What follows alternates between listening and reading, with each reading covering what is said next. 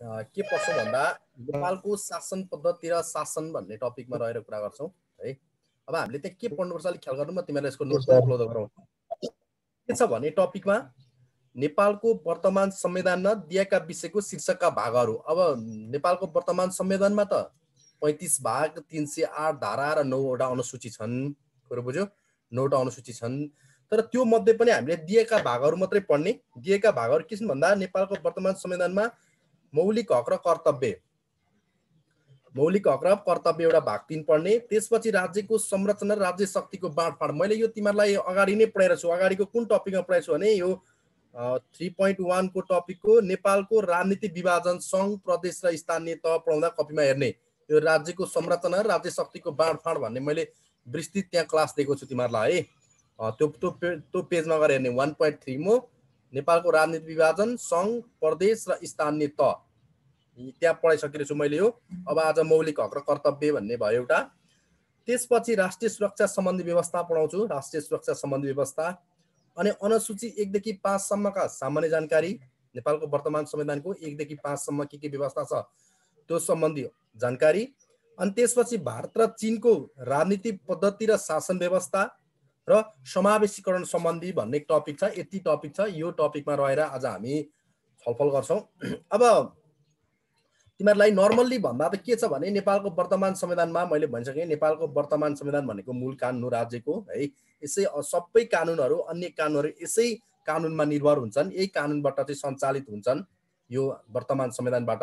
नेपालको वर्तमान संविधान दुई हजार बहत्तर असोज तिन गते जारी भयो। त्यो असोज तिन गते जारी भएको वर्तमान संविधानको के थियो त भन्दा पैँतिस भाग तिन सय आठ धारा र नौ अनुसूची छ।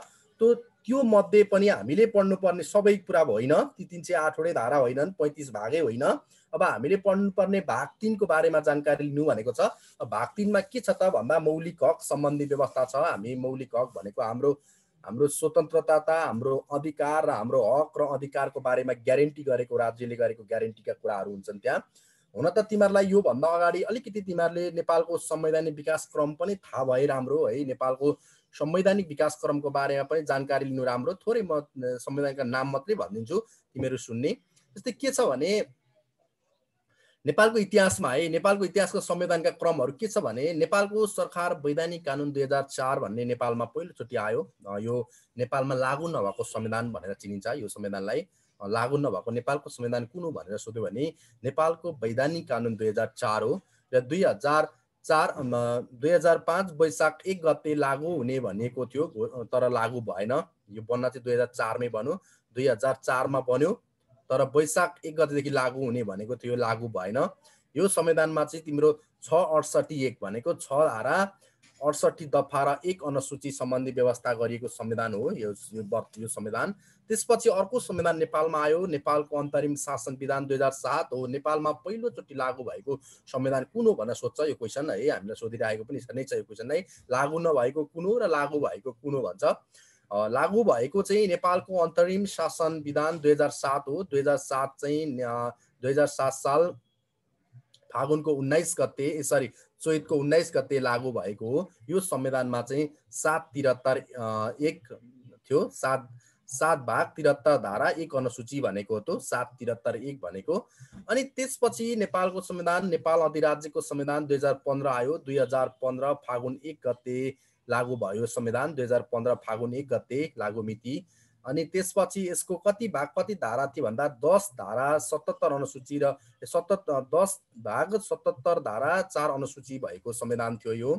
अनि त्यसपछि नेपालको संविधान दुई हजार उन्नाइस आयो दुई हजार उन्नाइस साल पौष एक गते जारी भयो तर यो यो पनि लागू भयो है। अनि बिस सन्तानब्बे छ भन्छ बिस धा बिस भाग सन्तानब्बे धारा छ अनुसूची भएको थियो यो संविधान। अनि त्यसपछि नेपाल अधिराज्यको संविधान दुई हजार सत्तालिस भन्ने आयो। सत्तालिस साल फागुनको तेइस गते लागू भयो दुई सरी दुई हजार सत्तालिस साल कार्तिकको त्यही वैशाख असोजन भयो कार्तिकको तेइस गते लागू भयो है कार्तिकको तेइस गते लागू भयो।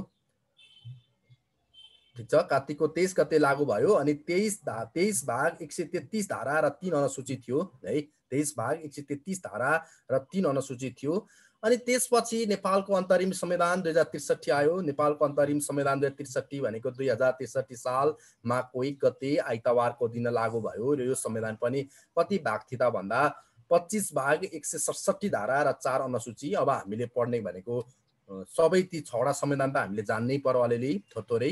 अब हामीले पढ्ने भनेको नेपालको वर्तमान संविधान दुई हजार बहत्तर अब नेपालको वर्तमान संविधान सम्बन्धी जानकारी अलिकति थोरै लिउँ। नेपालको वर्तमान संविधानको नाम के हो त भनेर सोध्यो भने नेपालको वर्तमान संविधानको नाम के हो भन्यो भने नेपालको संविधान दुई हजार बहत्तर भन्नु पर्यो। नाम के हो भनेर सोध्यो भने नेपालको संविधान दुई हजार बहत्तर।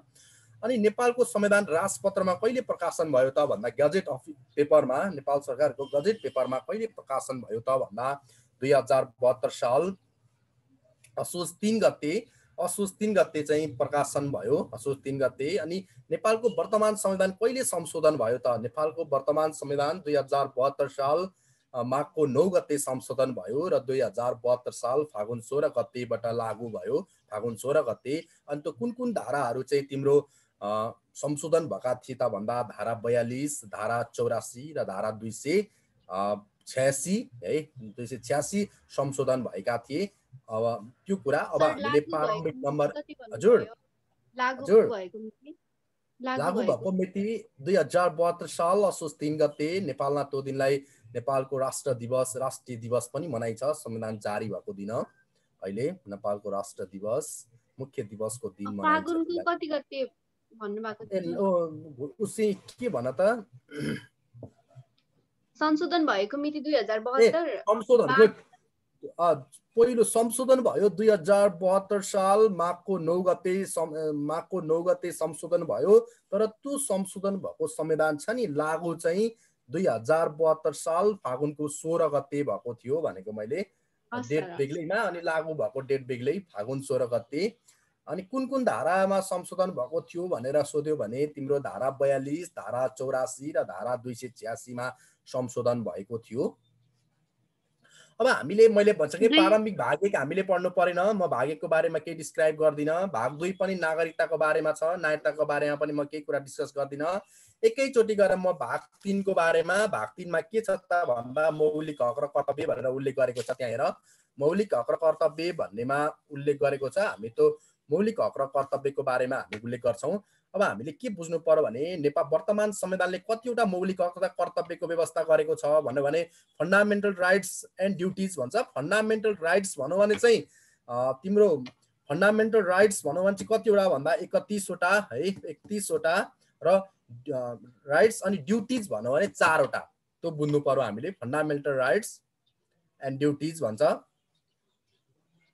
मौलिक हक चाहिँ फन्डामेन्टल राइट्स चाहिँ राइट्स चाहिँ एकतिसवटा छन् है यहाँ नझुकिनु। राइट्स एकतिसवटा छन्। सङ्ख्यै सोद्धा पनि how many fundamental rights are there in Nepal भन्छ। तिमीले त्यो बेला ट्याक्क फोर्टी वान जाँछ के अरे थर्टी वान जाँछ आन्सर त्यही थर्टी वानलाई चेक गर्ने हो थर्टी वानमा।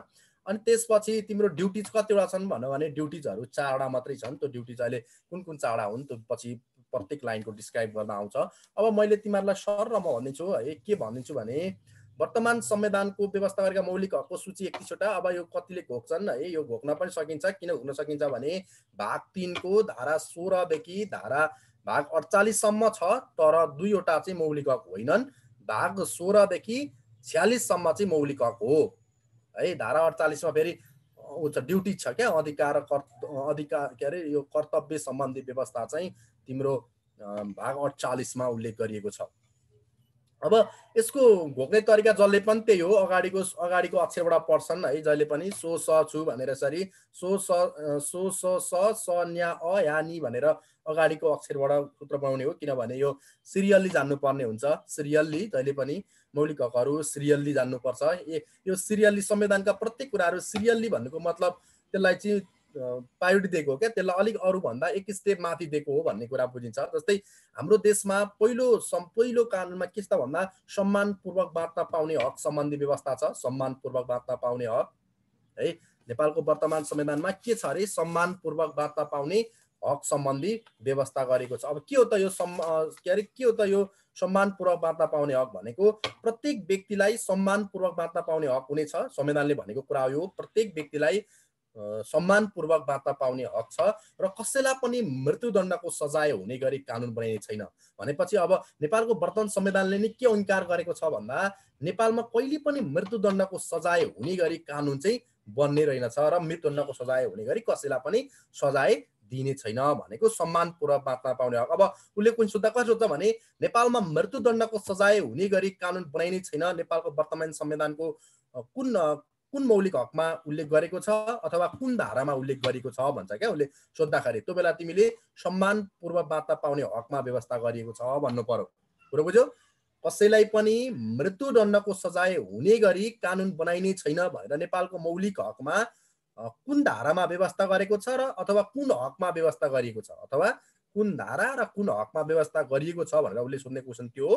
तिमीले धारा सोह्रमा सम्मानपूर्वक बाँच्न पाउने हकमा चाहिँ मृत्युदण्डको सजाय हुने गरी कानुन बनाइने छैन भनेर चाहिँ उल्लेख गरेको छ र प्रत्येक व्यक्तिलाई सम्मानपूर्वक बाँच्न पाउने हकको सम्बन्धी व्यवस्था कहाँ गरिएको छ भन्यो भने सम्मानपूर्वक बाँच्न पाउने हकमै गरिएको छ भन्नु पर्यो। प्रत्येक व्यक्तिलाई सम्मानपूर्वक बाँच्न पाउने हक हुन्छ। उसले भनेको त्यही हो इम्पोर्टेन्ट कुरा यो सामान्य लाग्छ हेर्दा तर यो मोस्ट इम्पोर्टेन्ट कुरा हो।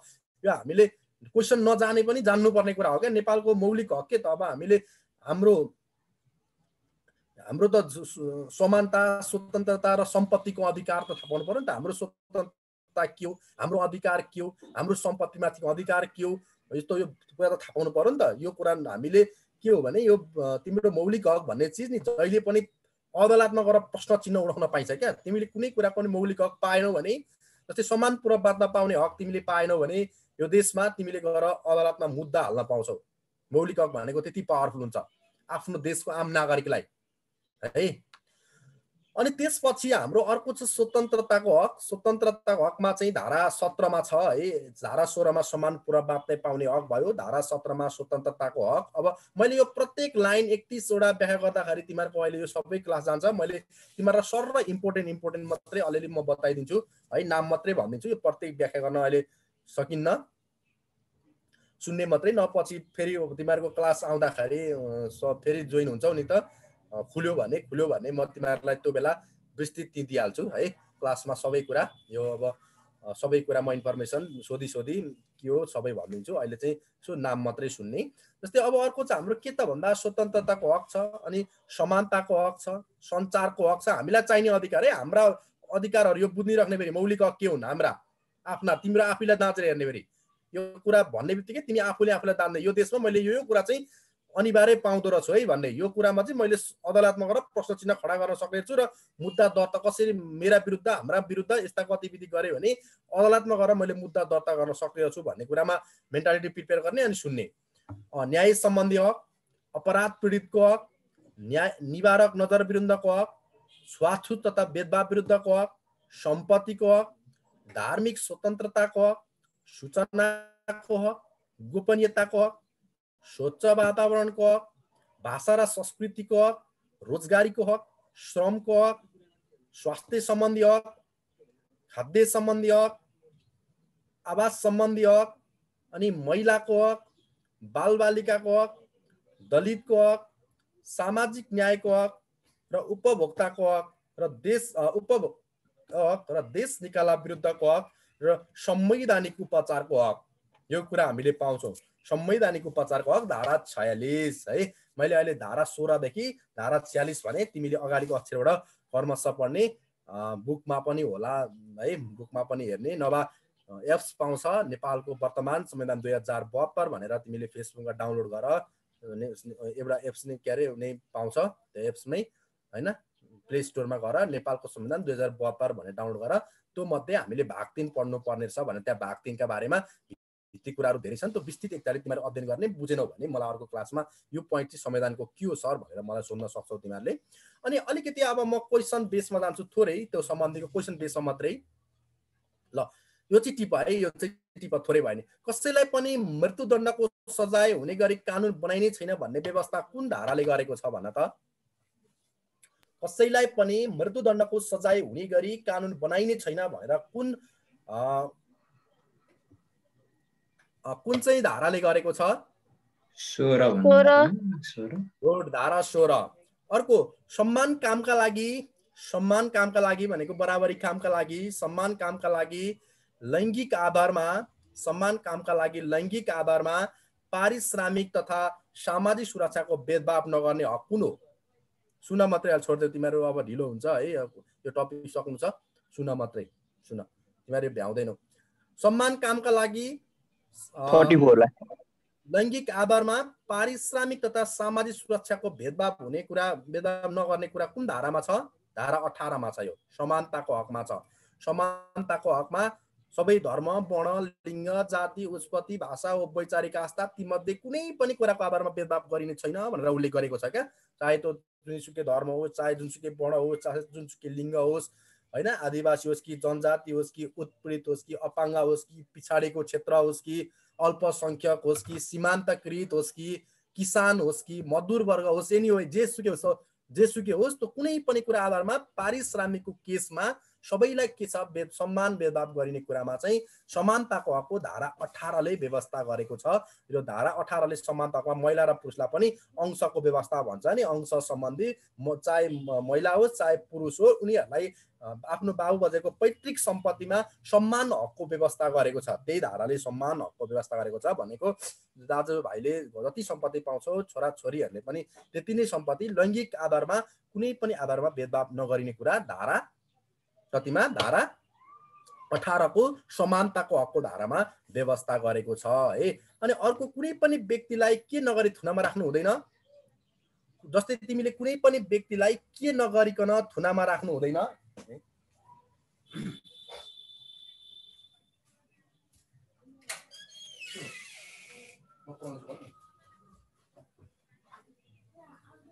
अँ।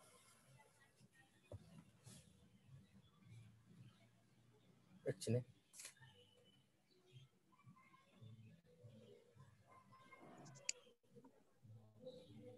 कारण सहितको सूचना नचिन्हमा राखिने छैन राख्न पाउँदैन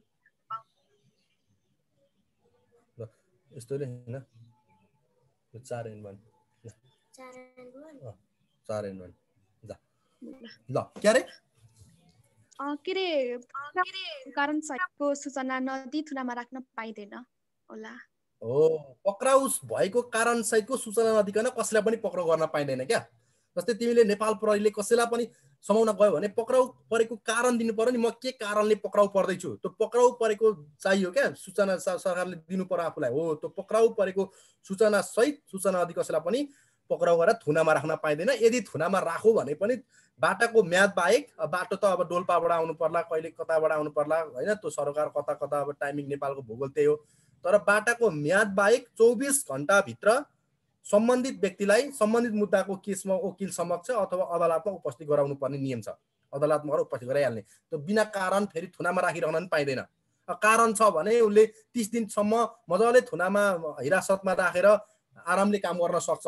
है एकदम एकदम छ भने त्यही पनि सिडिओ कार्यालयसँग सिडिओ कार्यालयसँग म्याद थप गरेर राख्न सक्छ।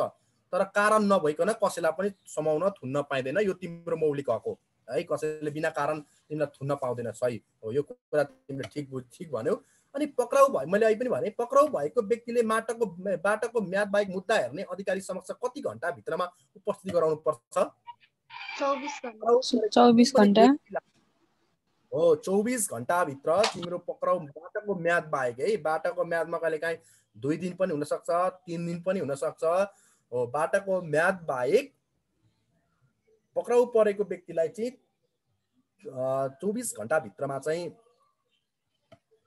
अदालतमा उपस्थित गराइसक्नुपर्छ। ठिक छ?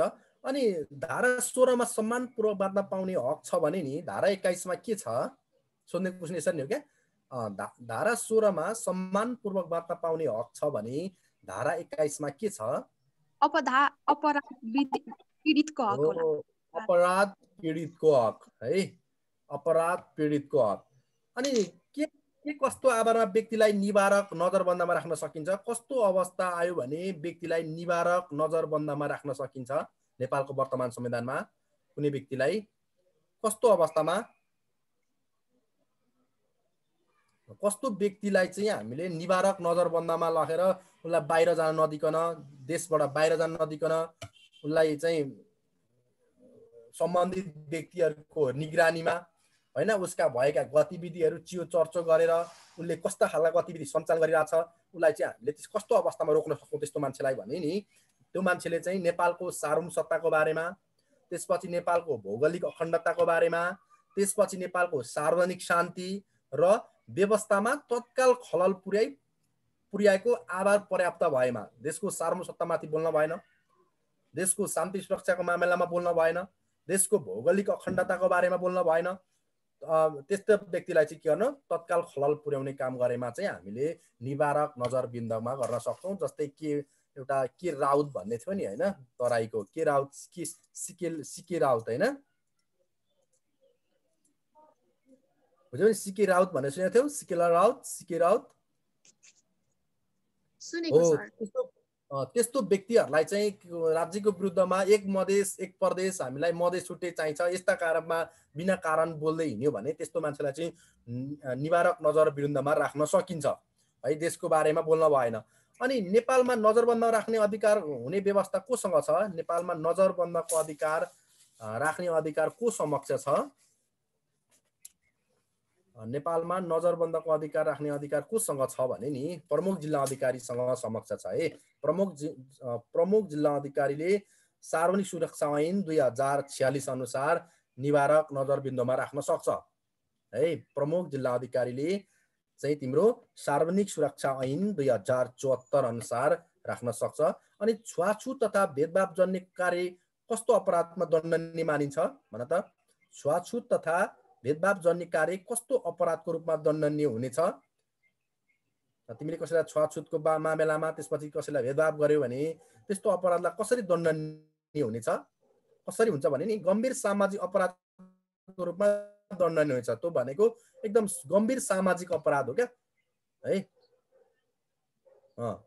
सोसियल क्राइम भयो क्या? त्यो सामाजिक गम्भीर सामाजिक अपराधको केसमा तिमीलाई चाहिँ कसैलाई तिमीले छुवाछुतको बारेमा हेपा गर्यौ भेदभाव जन्य गतिविधि गर्यो भने त्यो सामाजिक अपराधको रूपमा लिन्छ त्यसलाई। त्यो एकदम सामाजिक। अनि प्रत्येक नागरिकलाई के कस्तो विषयमा सूचना माग्ने र पाउने हक हुन्छ? जस्तै तिमी हामीलाई के कस्तो विषयमा सूचना माग्ने र पाउने हक हुन्छ?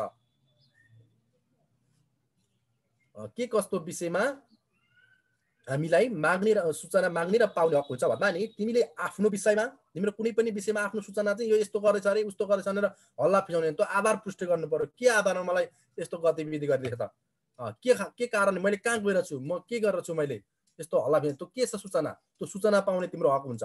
त्यसपछि तँसँगै सार्वजनिक सरोकारको विषयमा जस्तै विकास निर्माणका केसहरूमा सार्वजनिक सेवा प्रवाहका केसमा तिम्रो सार्वजनिक सेवा प्रवाह गर्न गयो पासपोर्ट बनाउन गयो पासपोर्ट बनाउँदाखेरि तिमीले के अरे यो यो कागज पुगेन यस्तो गर उस्तो गर भन्न थाल्यो भने तिमीले त्यो प्रुफ गरेर देखाउनु पर्छ सार्वजनिक सूचना। किनभने तिमीले के कारणले चाहिँ यो मेरो पासपोर्ट बनेन? के कारणले मेरो नागरिकता बनेन? के कारणले मेरो जग्गा पास भएन?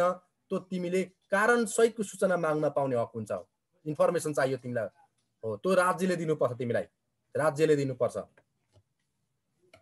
अनि धारा छत्तिसमा नि खाद्य सम्बन्धी हक छ भने धारा चालिसमा दलितको हक छ है। धारा छत्तिसमा खाद्य सम्बन्धी हक छ भने धारा चालिसमा दलितको हक सम्बन्धी व्यवस्था छ। अनि धारा एकचालिसमा ज्येष्ठ नागरिकको हक सम्बन्धी छ भने धारा चौवालिसमा उपभोक्ताको हक छ है। अनि धारा एकतिसमा शिक्षा सम्बन्धी हक छ भने धारा अडतिसमा महिलाको हकको व्यवस्था छ। अनि प्रत्येक महिलालाई लैङ्गिक भेदभाव बिना सम्मान वंशी हक हुने व्यवस्था कुन हकले गरेको छ भन्दा सम्मान वंशी हक चाहिँ धारा अडतिसमा महिलाको हक भनेको अब तिमीले सम्मान वंशी चाहे म चाहे तिमीले छोरा पाऊ चाहे छोरी पाऊ त्यो महिलाको हकको अधिकारको अधिकारको विषय हो। त्यो भनेर तिमीले अब मेरो बुढीले छोरी पाउनु पर्नेमा छोरो पायो। छोरो पाउनुमा छोरी पायो भनेर यस्ता खालका अयात गतिविधिको प्रश्न चिन्ह चाहिँ गएर अदालतमा मुद्दा हाल्यो भने त्यो मुद्दै हाल्नेलाई समारा जेल हालिदिने गर्छ क्या। बुझ्यौ नि? त्यो जसले हाल्छ त्यसैले हाल्ने हो। तिमीलाई सम्मान वंशी त जेसुकै होस् पुरुष पाए पनि महिला पाए पनि नो प्रब्लम एउटै हो। दुइटैलाई सम्मान वंशी हक हुन्छ। त्यो त्यो हक भनेको महिलाको हक अन्तर्गत पर्छ। यो प्रजनन अधिकारको हक पनि हो है प्रजनन सम्बन्धी कुरा पनि हो। अनि त्यसपछि सम्पत्ति र पारिवारिक मामिलामा दम्पतिको सम्मान सम्मान हक हुने व्यवस्था कुन धारामा गरेको छ? कुनै पनि परिवारमा सम्पत्ति तथा पारिवारिक मामिलामा दम्पतिको सम्मान हक हुने व्यवस्था कुन धारामा उल्लेख गरेको छ अथवा कुन हकमा गरिएको छ? धारा पच्चिस। होइन धारा अडतिस। धारा अडतिसमा महिलाको हकमा व्यवस्था गरेको छ है। कुरो बुझ्यो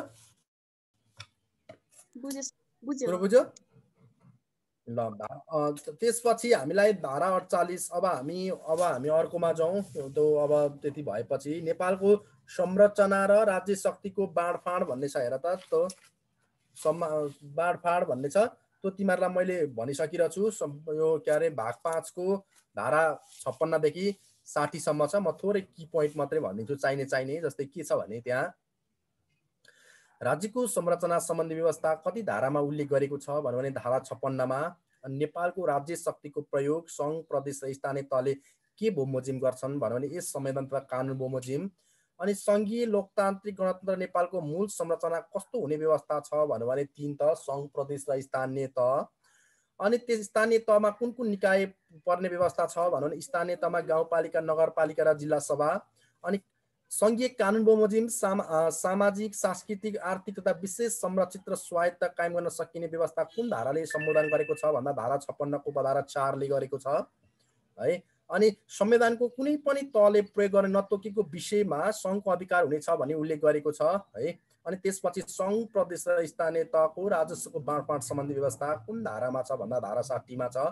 साझा सूचीभित्र पर्ने कुनै पनि विषयमा नपरेको विषय कर लगाउने र राजस्व उठाउने काम कसले निर्धारण गर्छ त भन्दा कुनै पनि विषयमा नपरेको विषय चाहिँ नेपाल सरकारले निर्धारण गर्छ भन्ने कुरा उल्लेख गरेको छ। यो राज्य शक्तिको संरचना र राज्य शक्तिको बाँडफाँड तिमीले पढ्नुपर्ने भाग पाँच भाग पाँचको धारा छप्पन्नदेखि साठीसम्म तिमीहरूलाई मैले सङ्घ प्रदेश र स्थानीय तह पढाउँदाखेरि मैले यसको बारेमा विस्तृत क्लास दिइसकेको छु तिम्रो कपीमा पनि छ। मजाले हेर्ने। मैले त्यो कुरालाई सर्ट सर्टकटमा मात्रै भनिदिएको त्यहाँ मैले लङ तरिकाले व्याख्या गरेरै लेख भनिदिएको छु त्यो हेर्ने है त। कुरो बुझ्यो? कुरो बुझ्यो? संविधान हो है बिस्तारो पढ्नु पर्नेमा अब छिटो छिटो पढिँदैछ हतार गरेर है बिस्तारो पढ्नु पर्छ बिस्तारो पढ्छु क्या यो चार पाँच दिन पाँच छ दिन लाएर पढ्छु शासन पद्धति र शासन भनेको अब शासन भनेको केबाट सुरु गर्नुपर्ने खासमा? शासन भनेको विधि विधान प्रक्रियाबाट सञ्चालित हुन्छ तर हामी पछि पनि टाइम हुन्छ हाम्रो है अलिअलि चाहिँ अलिअलि थोरै थोरै कोर्स सकौँ भन्ने मात्रै हो। टाइम त हाम्रो पछि पनि हुन्छ। सर हामीले कुन कुन भागहरू पढ्नु पर्ने हुन्छ एक्जामको भने हो त्यही कुरा हो क्या मेन अरू केही पढ्नु परेन क्या? तिमीले संविधानमा चाहिने कुरा के हो? संविधानको कुरा मैले बनाएर पनि पढ्ने होइन जे छ त्यही भन्ने हो संविधानमा होइन? अब यहाँ त पैँतिसवटा भाग रहेछ थोरा छैन। अब कुन कुन चाहिँ पढ्दा ठिक होला एक्जाम बेसिसमा एक दुई तिन चार। हुँ। के भन्यौ? पैँतिसवटा भाग त निकै धेरै रहेछ सर। अब हामीले एक्जाम बेसिसमा चाहिँ कुन कुन सबै नै इम्पोर्टेन्ट हुन्छ कि केही केही मात्रै छ? होइन होइन। आर्मीमा त्यो पोइन्ट त्यो सबै भाग इम्पोर्टेन्ट छैन। सबै भाग किन इम्पोर्टेन्ट छैन भने मौलिक हक र कर्तव्य इम्पोर्टेन्ट मैले अघि भने नि मौलिक हकको धारा भाग भाग तिनको धारा सोह्रदेखि धारा छ्यालिससम्म इम्पोर्टेन्ट सबै नाम जान्नु पर्छ जान्नै पर्छ फेरि एकदम यो त्यो फेरि एकदम सबैभन्दा कम मार्क्स आउने टपिक पनि हो क्या यो आर्मीमा पाँच मार्क्स टोटल बुझेनौ? त्यही भएर यसलाई विस्तृत तरिकाले धेरै गर्नुपर्ने अवस्था देख्दिनँ म। पाँच मार्क्सको क्वेसन हो यो। अनि त्यसपछि अर्को हामीले पढ्नुपर्ने राज्यको संरचना र राज्य शक्तिको बाँडफाँड भन्ने पढ्नु पर्यो। राज्य राज्यको संरचना राज्य शक्तिको बाँडफाँड मैले कति यहाँ भने अघि? भन त। भाग पाँचमा भने हो किन भन त? भाग पाँचको धारा छप्पन्नदेखि साठीसम्म भने। छप्पन्न सन्ताउन्न उन्साठी छप्पन्न एउटा सन्ताउन्न अन्ठाउन्न उन्साठी साठी जम्मा पाँचवटा पढ्नु पर्यो। पाँचवटा धारा पढ्नु पर्यो। त्यो। अनि त्यसपछि अर्को एकैचोटि गएर हामी अब कहाँ जम गर्छौँ भन्दा भाग अठाइसको भाग अठाइसमा गएर पढ्छौँ। भाग अठाइसमा के छ त भन्दा राष्ट्रिय सुरक्षा सम्बन्धी व्यवस्था छ। यो नेपाल आर्मी नेपाल पुलिस सशस्त्र प्रहरी एनआइडी यो सबै सुरक्षा निकाय सम्बन्धीको व्यवस्था उल्लेख गरेको छ। हुन त जान्नुपर्ने हामीले अरू पनि छन् हुनलाई चाहिँ है भाग एक्काइसदेखि सत्ताइससम्म पनि जाने त राम्रो फेरि संवैध संवैधानिक निकायहरू पनि जाने राम्रो तर यहाँ टपिकमा संवैधानिक निकायको बारेमा चाहिँ उल्लेख नगरेको कारणले गर्दाखेरि हामी एकैचोटि राष्ट्रिय सुरक्षा भाग अठाइसमा जान्छौँ। ल सर्टकट म भनिदिन्छु तिमीहरू ध्यान दिएर सुन्ने। यति पढ्यो भने दुईवटा क्वेसन चाहिँ आउँछ यो क्वेसन सोध्ने चाहिँ यति हो फेरि। जहिले पनि परिरहेछ यो क्वेसन फेरि। धारा तिम्रो दुई सय छैसठीमा राष्ट्रिय सुरक्षा परिषदमा राष्ट्रिय सुरक्षा परिषदमा प्रधानमन्त्री तथा सदस्य सहित कतिजना सदस्य हुन्छन् भनेर सोध्यो भने कतिजना हुन्छन् भन त? धारा यसरी सोध्यो भने धारा दुई सय छैसठीमा राष्ट्रिय सुरक्षा परिषदमा प्रधानमन्त्री अध्यक्ष सहित कतिजना सदस्य रहन्छन्? सातजना हो सर। कतिजना? ल म नाम भनिदिन्छु कतिजना सदस्य रहन्छन् तिमी फ्याट है अब ल प्रधानमन्त्री अध्यक्ष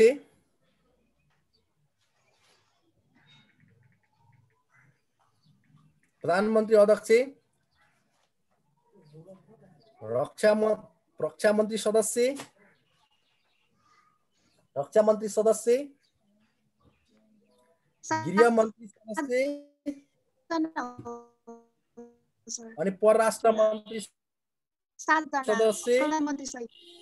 अर्थमन्त्री सदस्य मुख्य सचिव सदस्य प्रधान सेनापति सदस्य र राष्ट्रिय सुरक्षा परिषदको सदस्य सचिव भएर रक्षा सचिवले काम गर्छ। त्यो सदस्य कतिजना भयो?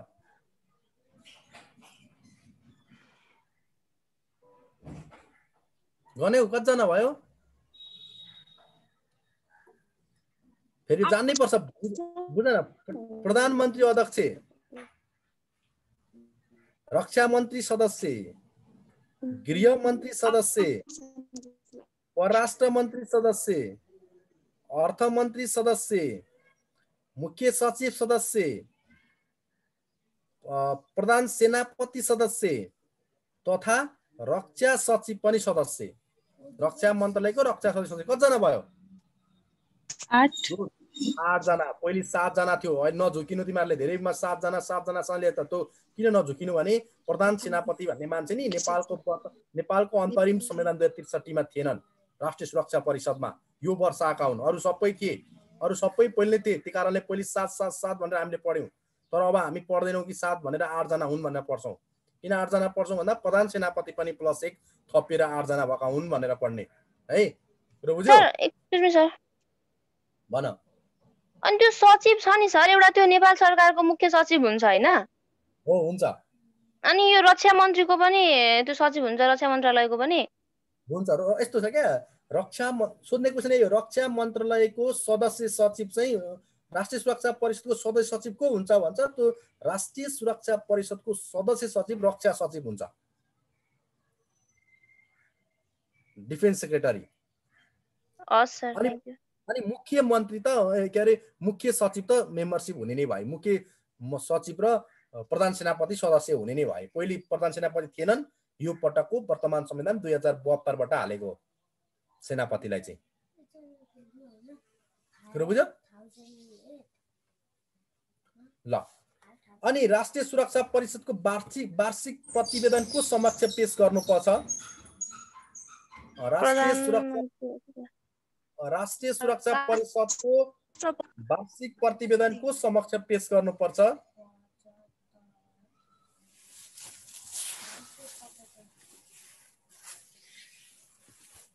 भन त। त्यो को समक्ष पेश गर्नुपर्छ भने नि राष्ट्रपति समक्ष तथा राष्ट्रपति। समक्ष हो।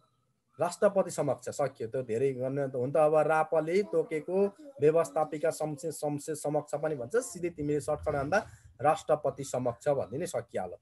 धेरै। अनि राष्ट्रिय सुरक्षा परिषदको सदस्य सचिव भएर कसले काम गर्छ? नेपाल सरकारको मुख्य सचिव? Seventy five. के अरे भन त। रक्षा मन्त्रालय होला। हो रक्षा मन्त्रालयको रक्षा सचिव भन न रक्षा मन्त्रालयको रक्षा सचिवले धारा दुई सय छैसठीको उपधारा दुईमा छ होइन? धारा दुई सय छैसठीको उपधारा दुईमा छ।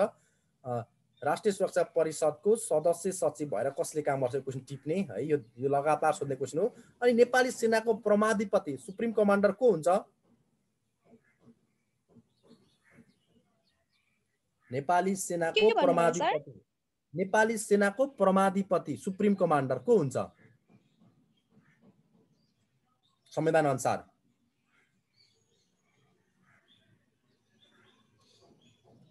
नेपाली सेनाको प्रमाधिपति सुप्रिम कमान्डर राष्ट्रपति हुने भएन। Chief of army staff COS त्यही पूर्णचन्द्र थापा भइहाले तर supreme commander of Nepal army भनेर कोही सोध्यो भने त्यो राष्ट्रपति हुन्छ भन्ने है। नेपालको वर्तमान संविधान अनुसार है सुप्रिम कमान्डर। परमाधिपति।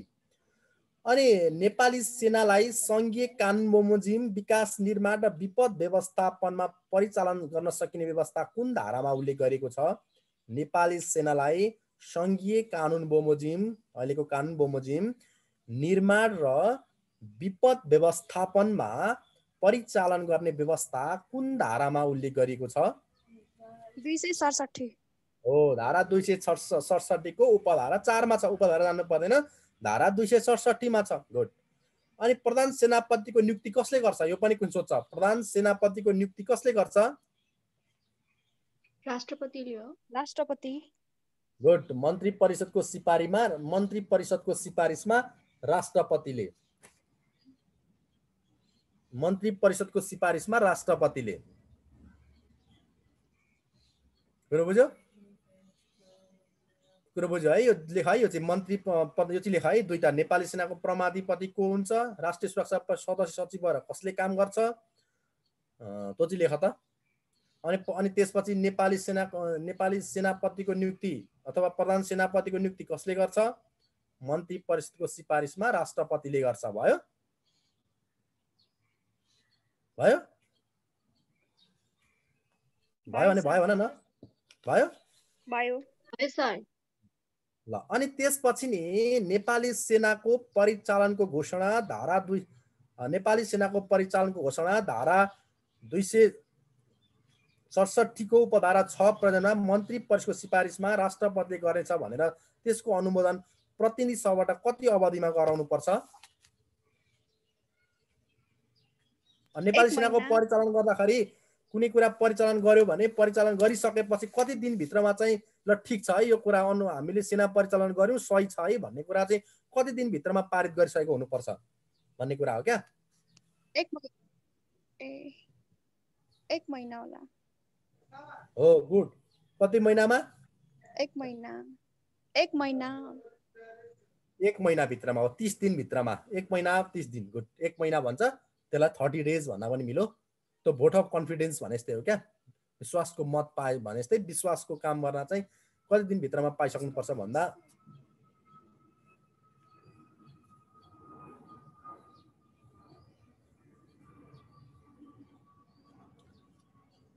अनि त्यसपछि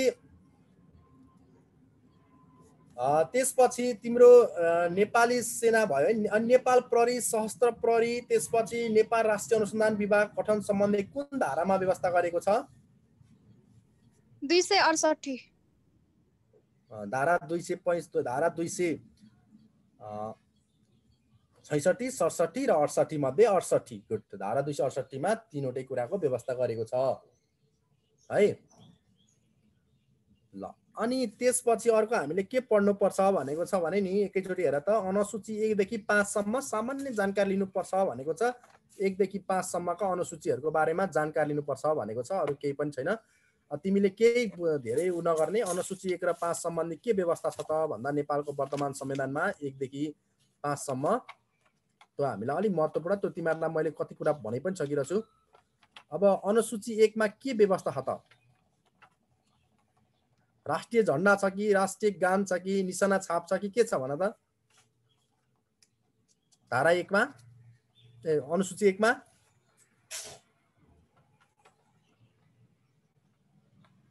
हो अनुसूची एकमा तिम्रो यो अनुसूची एकमा चाहिँ धारा धारा आठको उपधारा दुईसँग सम्बन्धित अनुसूची एकमा राष्ट्रिय झन्डा बनाउने। बारेमा उल्लेख गरेको छ। नेपालको राष्ट्रिय झन्डा यो बान थाहा पाउने तिमीले धारा।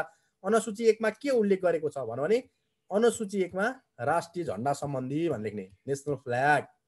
राष्ट्रिय झन्डा सम्बन्धी व्यवस्था छ त्यो जान्नु भनेको यसले। है अनुसूची एक। अनि त्यसपछि अनुसूची दुईमा के छ भनेर उसले सोचेको अनुसूची सेड्युल नम्बर टूमा के छ त भन्दा नेपालको राष्ट्रिय गान सयौँ थुङ्गा फुलका हामी होइन? अनुसूची टूमा नेपालको राष्ट्रिय गान नेपालको राष्ट्रिय गान अन गान अनुसूची टूमा छ नेपालको राष्ट्रिय गान अनुसूची टूमा है सयौँ थुगा फुलका हामी एउटै माला नेपाली भन्ने चाहिँ गीत छ अनुसूची टूमा अनि अनुसूची थ्रीमा के छ त भन्दा नेपालको निशाना छाप। कोट अफ आर्म्स भन्छ नि नेपालको निशाना छाप। नेपालको निशाना छापमा कतिवटा लाली गुराँसका चिन्ह छन्? भन त। नेपालको निशाना छाप आवश्यक छ ठुलो र सानो आकारमा बनाउन सकिन्छ। त्यसमा नेपाल सरकारबाट निर्धारित रङ हुनेछ। नेपालको निशाना छाप देखाएको छौ? नेपाल सरकारको लोगो? नेपाल सरकारको लोगो देखाएको छौ? छ सर। त्यो एक एक साइडमा सात सातवटा चौधवटा हुन्छन्। बुझ लाली गुराँसहरू है हो? निशाना छापको बारेमा अनुसूचित तिन बारेमा पढ्नुपर्छ भनेको छ। अनि त्यसपछि अनुसूचित चारमा के छ त भन्दा त्यो चाहिँ अलिक लङ छ। प्रदेश र प्रदेशसँग सम्बन्धित जिल्लाहरू। तिमीहरूलाई मैले ट्याक्कसँगले लेखिदिएको छु त्यो हेर। मजाले हेर। प्रदेश र प्रदेश सम्बन्धित जिल्लाहरू कुन टपिकमा लेख्छु भने तिमीहरूलाई मैले नेपालका प्रदेशहरूको नाम र राजधानी भन्दा लेखिदिएको छु मैले। तर अब तिमीले चाहिँ के थाहा भन्नु पर्यो भने वर्तमान संविधान अनुसार अनुसूची फो सेड्युल फोमा चाहिँ के रह त भन्दा संविधान सम्बन्धी यो जिल्लाहरू सम्बन्धी व्यवस्था रहेछ भन्ने थाहा पाउने त्यहाँ गएर हेर्ने त्यो कुरा मैले पहिले तिमीलाई लेखिदिइसकिरहेको छु। कुरा यही नै हो जस्तै प्रदेश नम्बर एकमा चौध जिल्ला कुन कुन जिल्ला पर्ने भए त सूत्रसहित लेखिदिन्छु मैले त्यहाँ। ताप्लेजुङ पाँचतर इलाम शङ्खसभा धनकुटा भोजपुर सोलुखुम्बु ओकलडुङ्गा तिम्रो तेह्रथुम उदयपुर झापा मोरङ होइन सुनसरी। यसरी क्या जान्ने भनेको यसले। प्रदेश नम्बर एकमा। प्रदेश नम्बर दुईमा सप्तरी सिरा धनुषा महोत्तरी सर्लाही रौतहट बारा पर्सा आठवटा जिल्ला। त्यसपछि प्रदेश नम्बर तिनमा तेह्र। प्रदेश नम्बर चारमा एघार। हो यो मैले तिमीहरू सूत्र सहित लेखिदिन्छु मैले यहाँ अब त्यो सूत्र सहित तिमीहरूले पढ्ने तिमीहरूलाई मैले लेखिदिइ पनि छु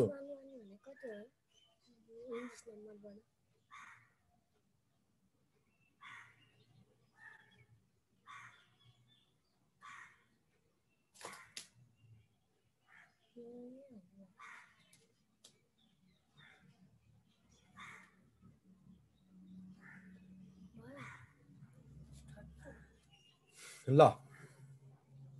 कुरो बुझ्यो है भयो अनि त्यसपछि अर्को के पढ्नुपर्छ भन्दा त्यो अनुसूची पाँच चार पढ्यो अनुसूची पाँच पढ्नुपर्छ अरे अब अनुसूची पाँचमा के छ त भन्ने कुरामा चाहिँ अलिक धेरै छ जस्तै अनुसूची पाँचमा नि केन्द्रको अधिकार क्या अब यो अरू अधिकार हामीलाई मतलब भएन जस्तै नेपालको वर्तमान संविधान अनुसार सङ्घ प्रदेश र स्थानीय तहलाई चाहिँ काम कर्तव्य अधिकारहरू बाँडफाँड गरेको छ क्या? कसले के काम गर्ने? जस्तै कसको भागमा के? जस्तै गुठीको व्यवस्थापन कसले गर्ने? होइन? जस्तै अब विपद व्यवस्थापन कसले गर्ने? नीति नियम ऐन नियम नीति कसले बनाउने? त्यसपछि नदीनाला कसको संरक्षणमा रहने? ठुला ठुला नेसनल प्रोजेक्टहरू कसको माताहतमा रहने? पेन्टेड डिजाइनहरू कसको माताहतमा रहने? स्थानीय त्यसपछि विभिन्न पार्कहरूको कर ट्याक्सहरू कसले उठाउने? कसको जिम्मामा हुने? अनि राष्ट्रिय राजमार्गहरू ठुला ठुला रोडहरू अनि त्यसपछि सामान्य साना रोडहरू कसले निर्माण गर्ने र कसले गर्ने? अनि अन्तर्राष्ट्रिय समझदारी कायम गरेर वैदेशिक रोजगार सम्बन्धी वैदेशिक आय सामानहरू त्यसपछि निर्यातहरू आयातहरू कसले गर्ने हो? त्यो अधिकारको सूची हो क्या यो? त्यो चाहिँ ठ्याक्क तिम्रो पाँचदेखि पाँच छ सात आठ नौसम्म व्यवस्था छ। तर त्यो हामीले ती छ पनि जान्नु परेन सात पनि जान्नु परेन आठ पनि जान्नु परेन नौ पनि जान्नु परेन। अब तिमीले यो अनुसूची पाँच भन्ने छ यो अनुसूची पाँच तिमीले कन्ठे बनाउनु पर्यो। किन कन्ठ बनाउनु पर्यो भने सबै कुरा इम्पोर्टेन्ट छ। कसरी इम्पोर्टेन्ट छ भन्दा अब हेर यहाँ सङ्घको अधिकार सूची के हुने भयो त यहाँ? नेपालको वर्तमान संविधान अनुसार सङ्घले के अधिकार के रह त भन्दा रक्षा र सेना सम्बन्धी एक नम्बरमै यो नेपाल आर्मी र डिफेन्स सम्बन्धी र नेपाल आर्मी सम्बन्धी यो काम कसैले पनि हेर्दैन। न प्रदेशको जिम्मामा हुन्छ न स्थानीयको जिम्मा हुन्छ। कसको अधिकार हुँदो रहेछ यो अब? रक्षा र सेना। सम्बन्धी। कसको अधिकार? हो सङ्घको यसै थाहा भयो नि उसले सोध्छ रक्षा र सेना सम्बन्धी अधिकार कसको अधिकार हो? भन्छ उसले सङ्घ प्रदेश र स्थानीय भन्छ सङ्घको अधिकार। अनि रा त्यो रक्षा र सेना भनेको राष्ट्रियता र भौगोलिक अखण्डताको संरक्षण र राष्ट्रिय सुरक्षा सम्बन्धी व्यवस्था भनेको हो। अनि त्यसपछि युद्ध सम्बन्धी र प्रतिरक्षा सम्बन्धी यसले युद्ध गर्नु पर्यो र युद्धमा प्रतिरक्षा युद्ध र प्रतिरक्षासम्म रिलेटेड शब्दहरू पनि कसको अधिकार भयो भन्दा सङ्घको अधिकार अनि हात हतियार खर खजना कारखाना उत्पादन सम्बन्धी गर्नु पर्यो भने नि सङ्घको अधिकार हो अनि केन्द्रीय प्रहरी सशस्त्र प्रहरी बल राष्ट्रिय गुप्तचर संस्था र अनुसन्धान शान्ति सुरक्षा यो पनि केन्द्रको भयो अनि। केन्द्रीय हजुर हामीलाई चाहिँ एक्जाममा कसरी सोध्छ यो क्वेसन चाहिँ यस्तो? यसरी सोध्छ के सोध्छ भने अ, तलका हात हतियार ख हात हतियार खर खजाना कारखाना उत्पादन सम्बन्धी कुन अनुसूचीमा व्यवस्था गरिएको छ? एउटा। कुरो बुझ्यो? ए ए बुझेँ सर। अनुसूची पाँचमा। अथवा तलका मध्ये जस्तै अब उसले त झुक्याउँछ नि त जस्तै यहाँ नभएको पनि त सुन्न सक्छ नि। जस्तै के भन्छ भने जस्तै गुठी व्यवस्था तलका मध्ये कुन अनुसूचीमा गरिएको छ? अनुसूची एक ए अनुसूची पाँच अनुसूची छ अनुसूची सात अनुसूची आठ भन्छ नि त।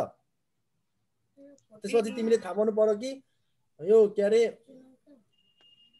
गुठी सम्बन्धी व्यवस्था कुनमा छ? त्यो थाहा पाउनु पर्यो। अनि त्यसपछि केन्द्रीय विश्वविद्यालय कसको अधिकारको सूची हो? यसरी सोध्छ क्या। केन्द्रीय विश्वविद्यालय कसको अधिकारको सूची हो?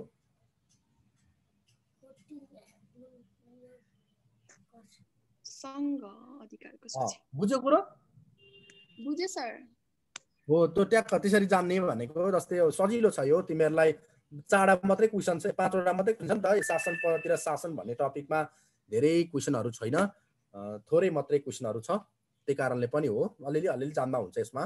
अनि अनि त्यसपछि अरू परराष्ट्र है अनि कुटनीतिक मामिला सम्बन्धी त्यसपछि अन्तर्राष्ट्रिय शान्ति सम्बन्धी मामिलामा त्यसपछि भन्सारहरू अन्तशुल्कको बारेमा मूल्य अभिवृद्धि करको बारेमा अनि सङ्घीय निजामती सेवाको बारेमा न्याय र अन्य सरकारी सेवाको बारेमा अनि जल स्रोतको संरक्षणको बारेमा अन्तर्देशीय र अन्तर प्रदेश विद्युत प्रसारण लाइनको बारेमा अनि केन्द्रीय तथ्याङ्कको बारेमा केन्द्रीय स्तरका ठुला ठुला सिँचाइ आयोजनाहरू त्यसपछि राष्ट्रिय प्रोजेक्टहरूको बारेमा अनि केन्द्रीय विश्वविद्यालय विश्व अरू अन्य विश्वविद्यालयहरूको बारेमा अनि स्वास्थ्य नीति स्वास्थ्य सेवा स्वास्थ्य मापदण्डको बारेमा यो अहिलेको कोरोना भाइरस भनेको केन्द्रको अधिकारको सूची हो। स्थानीयले गर्न सकेनन् भने स्थानीयले गर्न सकेन राज्यलाई हप्काउने होइन स्वास्थ्य मन्त्रालयले किन गर्न सकेन? केन्द्रीय सरकारले किन रोकथाम गर्न सकेन? किन कन्ट्रोल गर्न सकेन? किनभने तिनीहरूलाई सबै कुरा लकडाउनको व्यवस्था हुन त स्थानीयले आफ्नो तरिकाले गर्न त गर्न पाउँछन्। भए पनि आधिकारिक रूपमा चाहिँ केन्द्र सरकारले नै गर्ने हो।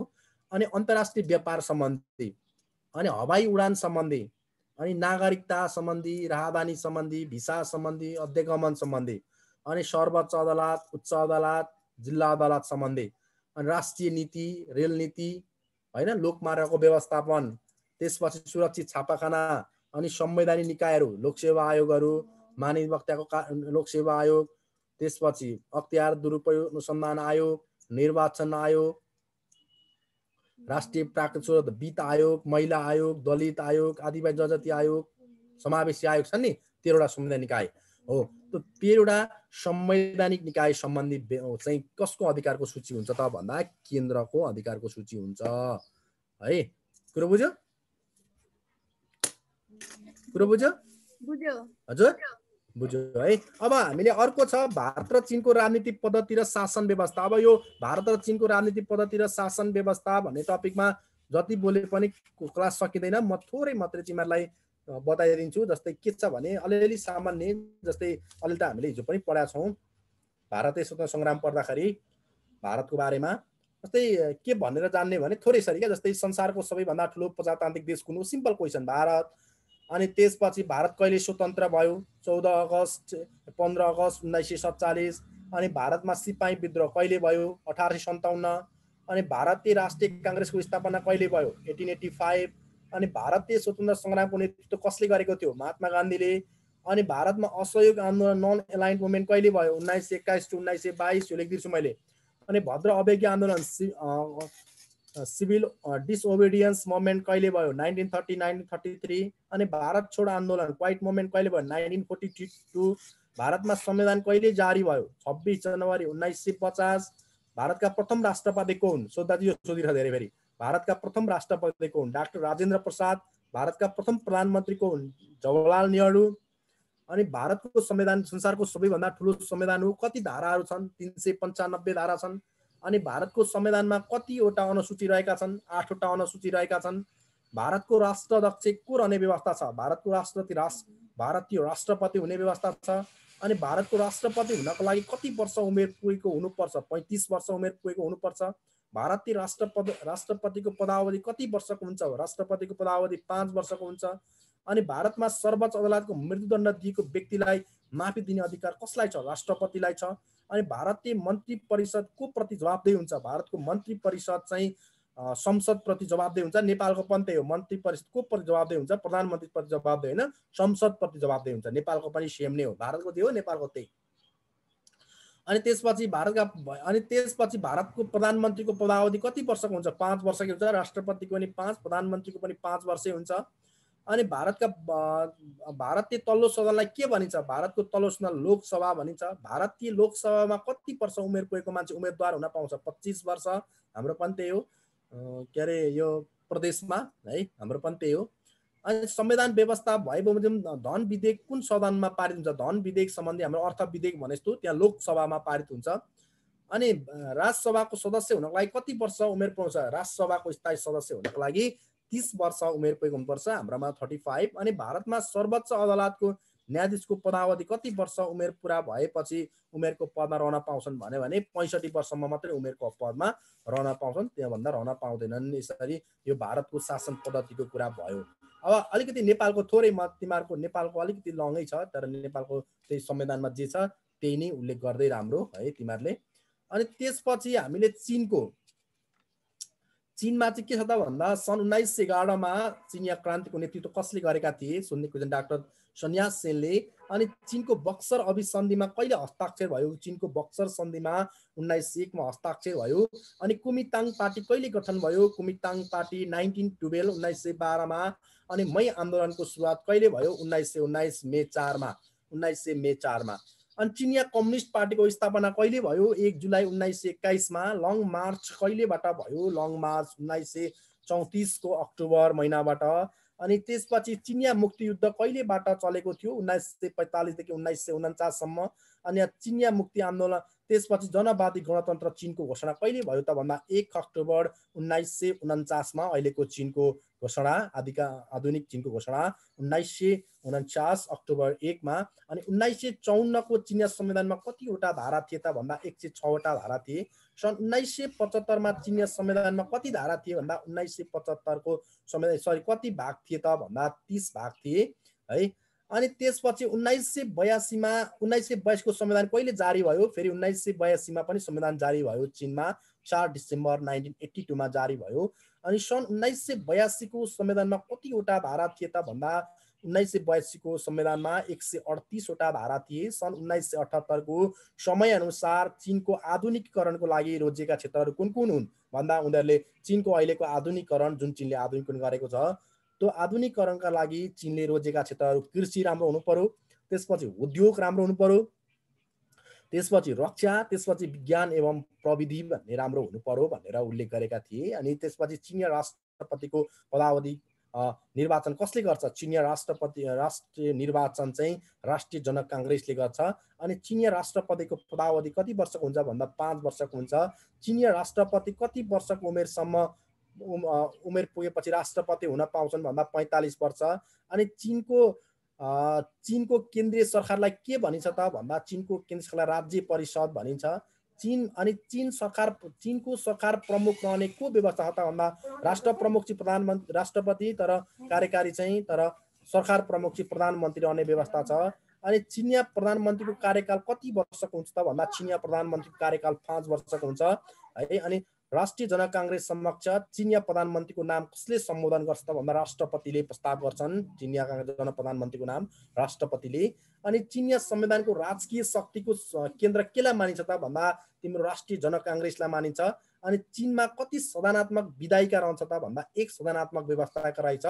तिम्रो उन्तिस सय पैँतालिस। अनि त्यसपछि राष्ट्रिय जनक काङ्ग्रेसको अधिवेशन सामान्यतया कति पटक हुन्छ त भन्दा वर्षमा एक पटक हुन्छ। अनि चिनिया संविधानको संशोधनका लागि कति मत आवश्यकता पर्छ? चिनिया काङ्ग्रेसमा जति छन् त्यसको दुई तिहाई मतको सदस्यको दुई तिहाई मतको आवश्यकता पर्छ। अनि चिनिया जनआन्दोलनको जन अदालतको अध्यक्षको पदावधि कति वर्ष हुन्छ भन्दा उनीहरूको जन अदालतको अध्यक्षको पदावधि पनि पाँच वर्षकै हुन्छ। र चिनका कति तहका अदालत छन् त भन्दा उसमा चार तह छन्। चारवटा तहका अदालत कुन कुन हुन् त भन्दा एउटा आधारभूत जन अदालत भन्ने छ पहिलो।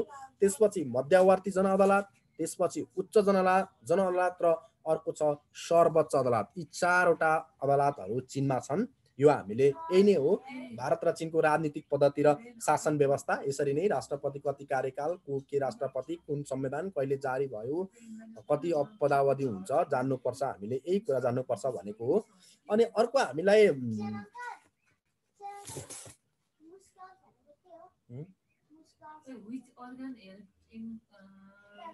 ल अहिले ल कुरो बुझ्यौ है छिटो भयो है म नोट उपलब्ध गराउँछु नि पछि कुरो बुझ्यौ हुन्छ सर नोट सर अब यो व्याख्या गरेर बिस्तारो जिकेको यही हुन्छ छिटो भयो भने त अब टाइम पनि यस्तै भयो क्या बिस्तारो पढ्नु मलाई बिस्तारो कुरा भयो भने ठिक हुन्छ है तर तिमीहरूलाई पनि टाइमिङ छैन पछि पढाइन्छ नि पछि हामी मजाले पढाउँछौँ तिमीहरूलाई है। मजाले सिलेबसमा रहेर ट्याक्कसँगले आनन्दले हतार नगरिकन क्लास सुरु भएपछि हामी तिमीहरू आउँछौ नि क्लासमा अनि।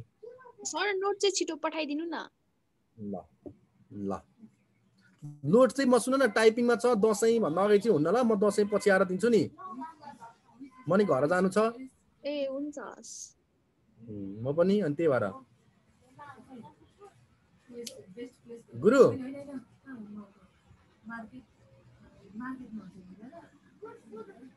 सर हुन्न है। ल अब हामी अर्को जाउँ थोरै। थोरै एउटा अर्को समावेशीकरण सम्बन्धी कुरामा जाउँ है त अब हामी। हेर त त्यहाँ के छ? समावेशीकरण सम्बन्धी सामान्य जानकारी लिनुपर्छ भनेको छ होइन? हो? के छ? समावेशीकरण सम्बन्धी सामान्य जानकारी लिनुपर्छ भनेको छ। यो सामान्य नै लिने हो केही पनि यसमा पर्दैन। तिमीहरूलाई यो समावेशीकरण भनेको के हो त भन्ने कुरा थाहा छ? भन त।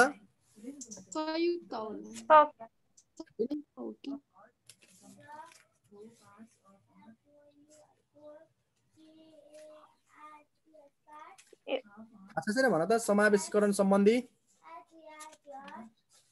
त्यो कोटाहरूको सिस्टम जस्तो होइन सर। सबै क्लासको अहिले बुझ्ने पेपी हो कोटाहरूको सिस्टम हो भन्ने।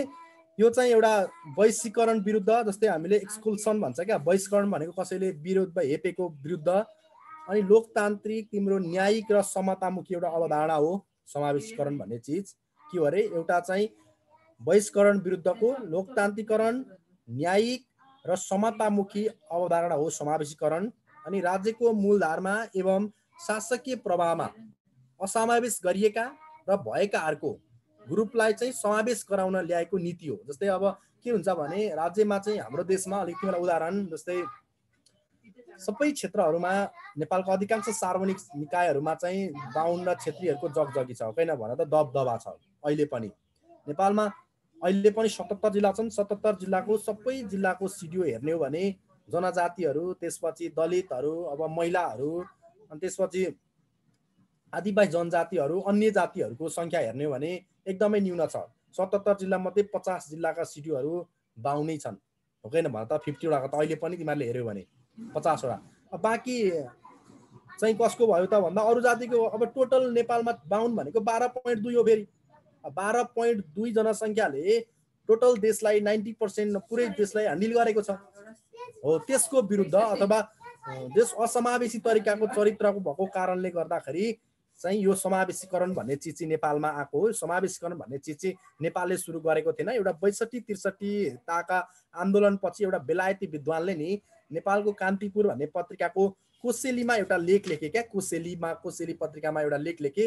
अनि त्यो लेख लेखिसकेपछि अनि यो समावेशीकरण भन्ने शब्द नेपालमा घनीभूत रूपमा अगाडि बढेको बैसठी त्रिसठीको आन्दोलनपछि विश्वमा चाहिँ बेलायतबाट सुरु भएको यो बेलायती विद्वानले लेखेका थिए। अब त्यो कुरो बुझ्यौ के बुझ्यौ त भन्दा विशेष राज्यको मेन स्ट्रिमबाट अब अब बुझ्ने चाहिँ समावेशीकरण भनेको विशेष राज्यको मेन स्ट्रिमबाट अलग रहेका जाति जात धर्म क्षेत्र वर्ग र समुदाय वा सम्प्रदायलाई चाहिँ मूल प्रवाहीकरणमा ल्याउने प्रक्रियालाई नै समावेशीकरण भनिन्छ भनेर बुझ्ने। बुझ्यौ? मूल प्रवाहीकरणमा ल्याउने। सबै जात जाति वर्ग लिङ्ग र सम्प्रदायका मानिसहरूलाई राज्यको मूल प्रभावमा ल्याउने प्रक्रिया नै के हो? समावेशीकरण हो। तर अब यो समावेशीकरण भन्ने प्रयोग गर्ने व्यक्ति को हुन् त भन्दा टर्किस फोटो पाउलस भन्ने मान्छे हुन्। समावेशीकरण भन्ने शब्द पहिलोचोटि टर्किस फोटो पाउलस भन्ने मान्छे हुन्। Turkish photo Paulus Turkish Paulus भन्ने व्यक्तिले समावेशीकरण शब्दको पहिलो उच्चारण गरेका थिए। अनि समावेशी प्रतिनिधित्वको व्यवस्था गरेको संविधान कुन हो त भन्दा नेपालमा समावेशिताको लागि गरेको पहिलो संविधान नेपालको अन्तरिम संविधान दुई हजार त्रिसठी र को पहिलो संशोधनले त्यो संशोधन नै त्यसको त्यो संशोधन किन यो समावेशीकरण पहिलो संशोधन भन्न खोजेको भने यही समावेशीका लागि उपेन्द्र यादव भन्ने मान्छेहरूले चाहिँ नेपालको वर्तमान संविधान दुई हजार बहत्तर चाहिँ नेपालको नेपालको अन्तरिम संविधान दुई त्रिसठी चाहिँ तिम्रो माइती घर मण्डलमा जलाए अनि माइती घर मण्डलमा जलाएपछि उनीहरूको नारा के थियो त भन्दा समावेशीकरण हुनुपर्छ भन्ने नारा थियो अनि त्यो समावेशीकरण राखिसकेपछि उनीहरूको आन्दोलन टुङ्गेको। त्यो त्यो चाहिँ दुई हजार त्रिसठी साल दुई हजार त्रिसठी साल फागुनको तिस गते चाहिँ संशोधन भएको थियो क्या। त्रिसठी माघ गते जारी भयो अनि उनीहरूको आन्दोलन भयो मधेस आन्दोलन भयो मधेस आन्दोलनमा त्यत्र मान्छे मरे होइन? तिस चालिस तिस पैँतिसजना मान्छे मरे त्यत्र घाइते भए देश त्यत्रो एक दुई महिना ठप्प भयो हो। अनि त्यो सबै कुराको मिलाउनको लागि फागुन तिस गते चाहिँ पहिलो संविधान संशोधन गरेर समावेशीकरण भन्ने चिजलाई चाहिँ राखिएको हो। अनि त्यसपछि निजामती सेवा ऐन दुई हजार उन्चास भन्ने पनि संशोधन गरेपछि अनि के भयो त भन्दा सबैतिर कार्यान्वयनमा आयो है। कार्यान्वयनमा आयो। त्यसपछि के छ त भन्दा नेपालको संविधान दुई हजार बहत्तरको तिन अनुसार नेपाल एक स्वतन्त्र अविभाज्य सार्वभौम सत्ता सम्पन्न धर्मनिरपेक्ष र समावेशी सङ्घीय लोकतान्त्रिक गणतन्त्रात्मक मुलुक हुनेछ भनी उल्लेख गरिएको छ है। नेपालको संविधान अनुसार समतामूलक हक चाहिँ धारा अठारमा छ। कुरो बुझ्यो? त्यो अहिले मैले भनेको छु। अनि चौसठी र सत्तरीको प्रतिनिधि सभा सम्बन्धी प्रतिनिधि सभाको चुनावमा पनि समानुपातिक प्रतिनिधित्व यही समावेशीकरण उल्लेख गरेको थियो। किन गरेको भन्दा तिन सय पैँतिसवटा सिट मध्ये तिन सय पैँतिसवटा सिटलाई चाहिँ के भन्दा तिम्रो समानुपातिकको लागि व्यवस्था गरेको थियो छ सय एकमा तिन सय पैँतिस होइन? अनि त्यसपछि हाल निर्वाचन प्रणालीमा त्यही छ आदिवासी जनजाति खसारे थारू दलित मधेसी मुस्लिम भनेर छुट्याएको छ। मलाई एउटा कुरो तिमीहरूले भन त नेपाल आर्मीमा समावेशीकरण सम्बन्धी महिलालाई कति छुट्याएको छ भन त? कसले भन्छ भन त?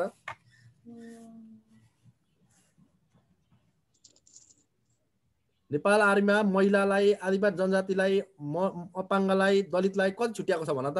पछाडिको क्षेत्रलाई।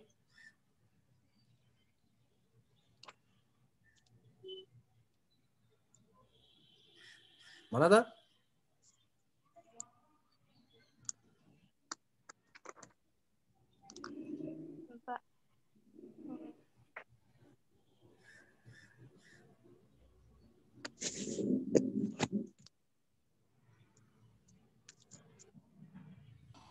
ट्वेन्टी पर्सेन्ट हो सर महिलाको लागि। ल भन महिला ट्वेन्टी पर्सेन्ट अनि महिला ट्वेन्टी आदिवासी जनजाति? Thirty two percent. पर्सेन्ट। अनि Madhesi? Twenty eight percent. Twenty eight percent. अनि दलित? पन् पन्ध्र। दलित पन्ध्र। अनि ब्याकवर्ड पछाडिको क्षेत्र? पाँच पर्सेन्ट। सय हुन्छ जोड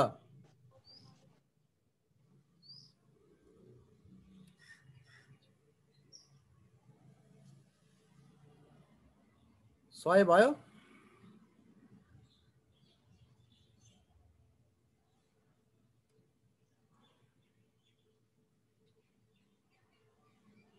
जोड न सय भयो त्यहाँ।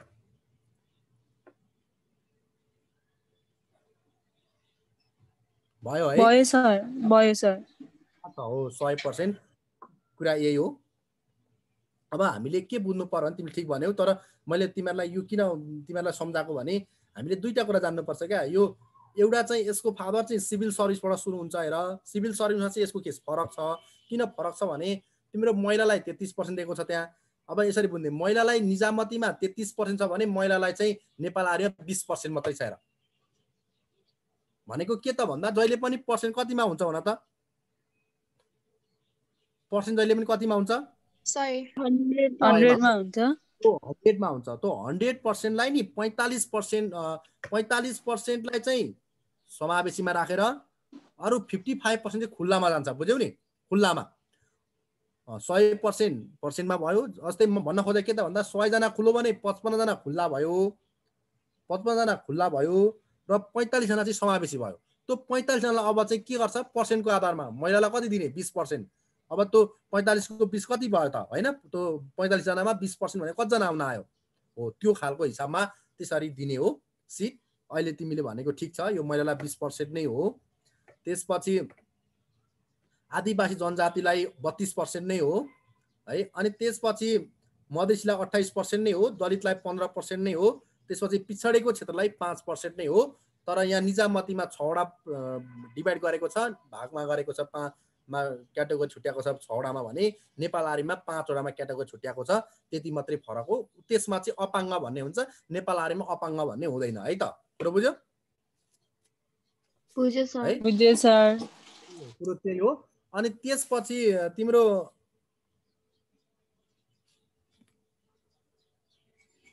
अनि त्यसपछि के छ त भन्दा समावेशीकरणको अवधारणा चाहिँ डब फेरि पछि चाहिँ डिएफआइडी अथवा डब्लु ब्याङ्क है world world bank WB world ब्याङ्कले ल्याएको दुई हजारमा है समावेशीकरणको लागि नीति चाहिँ एकीकृत विकास कार्यक्रम हाम्रो देशमा नेपालमा गर्नुपर्छ भनेर।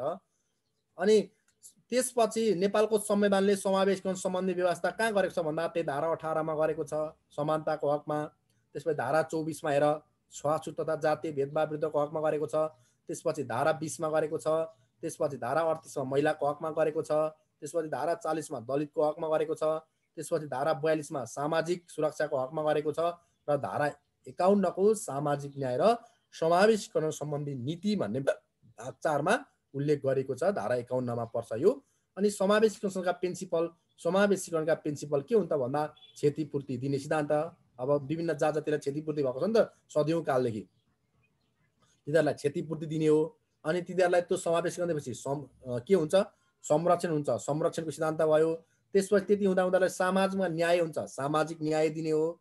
अनि त्यसपछि के हुन्छ? इम्पावरमेन्ट हुन्छ सशक्तिकरणको हुन्छ। त्यो कारणले यो सिद्धान्त उनीहरूले गरेको अनि सामाजिक बहिष्करणको नीति अवधान ल्याउने चाहिँ सामाजिक बहिष्करणको अवधान नीति ल्याउने चाहिँ को हुन् त भन्दा रेने लेनोराइट भन्ने मान्छे हुन्। रेनो लेनोलाइट भन्ने मान्छे नाइन्टिन सेभेन्टी फोरमा रेनो लेनोलाइट भन्ने मान्छेले गरेका हुन् है। अब यही नै हो। नेपालमा कति नेपालमा महिला दलित र आदिवासी जनजातिको लागि लक्षित गरेको कार्यक्रम ल्याएको कार्यक्रम कुन हो त भन्दा नाइन्थ प्लान हो नौ योजनाबाट हो। अब मैले त यो सकेँ त। कुरो बुझ्यो? सर। मैले त सकेँ हजुर। त्यो समावेशीकरणबाट चाहिँ कसरी सोध्छ क्वेसन चाहिँ? ए सोध्ने क्वेसन यसरी जस्तै नेपालमा यसो के सोध्छ भने जस्तै समावेशीकरण सम्बन्धी नेपाल आर्मीमा महिलाको लागि कति पर्सेन्ट छुट्याइएको छ? महिलालाई भनेर सोध्छ क्या। नेपाल आर्मीमा महिलालाई कति पर्सेन्ट? बिस पर्सेन्ट पच्चिस पर्सेन्ट तिस पर्सेन्ट पैँतिस पर्सेन्ट भन्छ बुझ्यो? त्यो अनि समावेशिता नीति ल्याउने पहिलो व्यक्ति को हुन् समावेश शब्दको प्रयोग गर्ने व्यक्ति को हुन्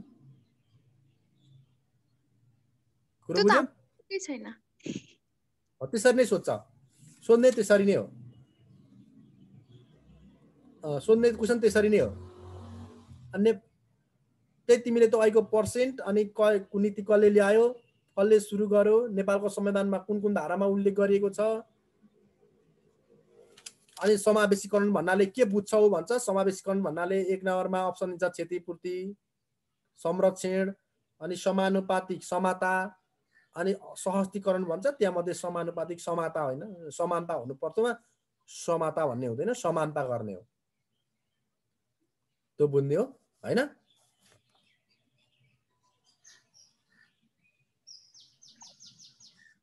भयो? शब्दमा राखेको छ कि अब के गर्नु त भन न समावेशीकरण सम्बन्धी जानकारी भनेको छ त्यसले जान्न लागेको त्यति मात्रै हो। लेख्नु लागेको होइन अरू समावेशीकरण सम्बन्धी के के पढ्ने भनेर कोर्समा के गरेको छैन यहाँ देखिहाल्यो नि तिमीहरूले होइन भारत चिनको राजनीति पद्धति र शासन व्यवस्था सम्बन्धी सामान्य जानकारी अरे अनि थोरै पनि समावेशीकरण सम्बन्धी सामान्य जानकारी भनेको तिमीले त्यही बुझ्ने मात्रै हो क्या अब के बुझ्ने भन्दा त्यही हो। पछाडिको वर्गलाई चाहिँ अपग्रेड गराउने कार्य रहेछ क्या यो। होइन? त्यही बुझ्यो भने तिमीहरूले? समावेशीकरण भनेको सर्टकटमा. पिल्सेका सदियौँदेखि हेपिएका समुदायलाई चाहिँ राज्यको मूल धारमा ल्याउने एउटा प्रक्रिया रहेछ। मूल धारमा ल्याउने। जस्तै सबैलाई जस्तै अब मैले एउटा मानिलिउँ उदाहरणको लागि। तिम्रो स- एउटा फोटो छ हामीसँग एउटा फ्रेम छ अनि त्यो फोटोमा चाहिँ सबैको फोटो छ। कुन अब यहाँ चौधजना कतिजना छौँ भने हामी यहाँ मानिलिउँ क्लासमा हामी कतिजना छौँ अहिले यहाँ? क्लासमा हामी चौधजना छौँ। हो त्यो चौधजना मध्ये बाह्रजनाको फोटो मात्रै आयो। एउटा फ्रेममा भने बाह्र तेह्र चौध अब दुईजनाको फोटो त्यो फ्रेममा अटेन भने त्यो फोटोको काम त दुईजनालाई के हुन्छ भन त महत्त्व हुन्छ भन त। हुँदैन सर। हुँदैन नि त फोटोमा त आफू हुनु पर्यो नि त महत्त्व हुनलाई फोटोमा आफू हुनु पर्यो। अब आफू हुनलाई के हुनु पर्यो भन्दा त्यहाँ महिला पनि अटेको हुनु पर्यो दलित पनि हुनु पर्यो आदिवासी जनजाति पनि हुनु पर्यो मधेसी पनि हुनु पर्यो अपाङ्ग पनि हुनु पर्यो पछाडिको क्षेत्र पनि हुनु पर्यो जति खतरा फोटो आयो भने पनि म कसैको फोटो ल्याएर घरमा राख्छु त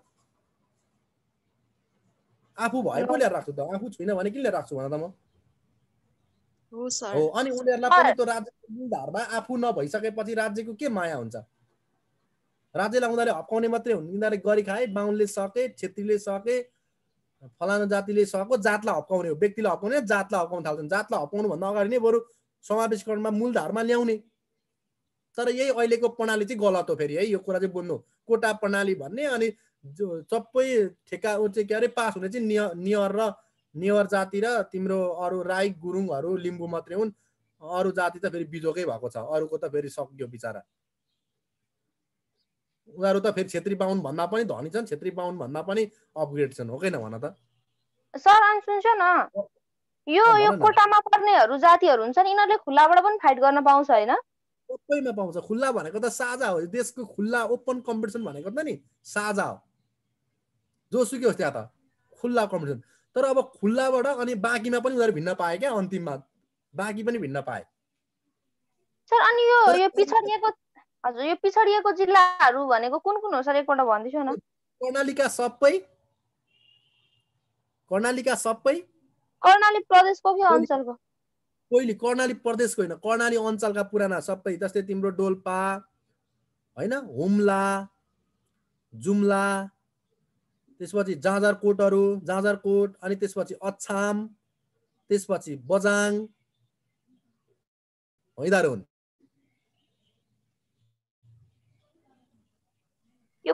कर्णाली अञ्चलको मात्रै हो सर पिछडिको क्षेत्र भनेको?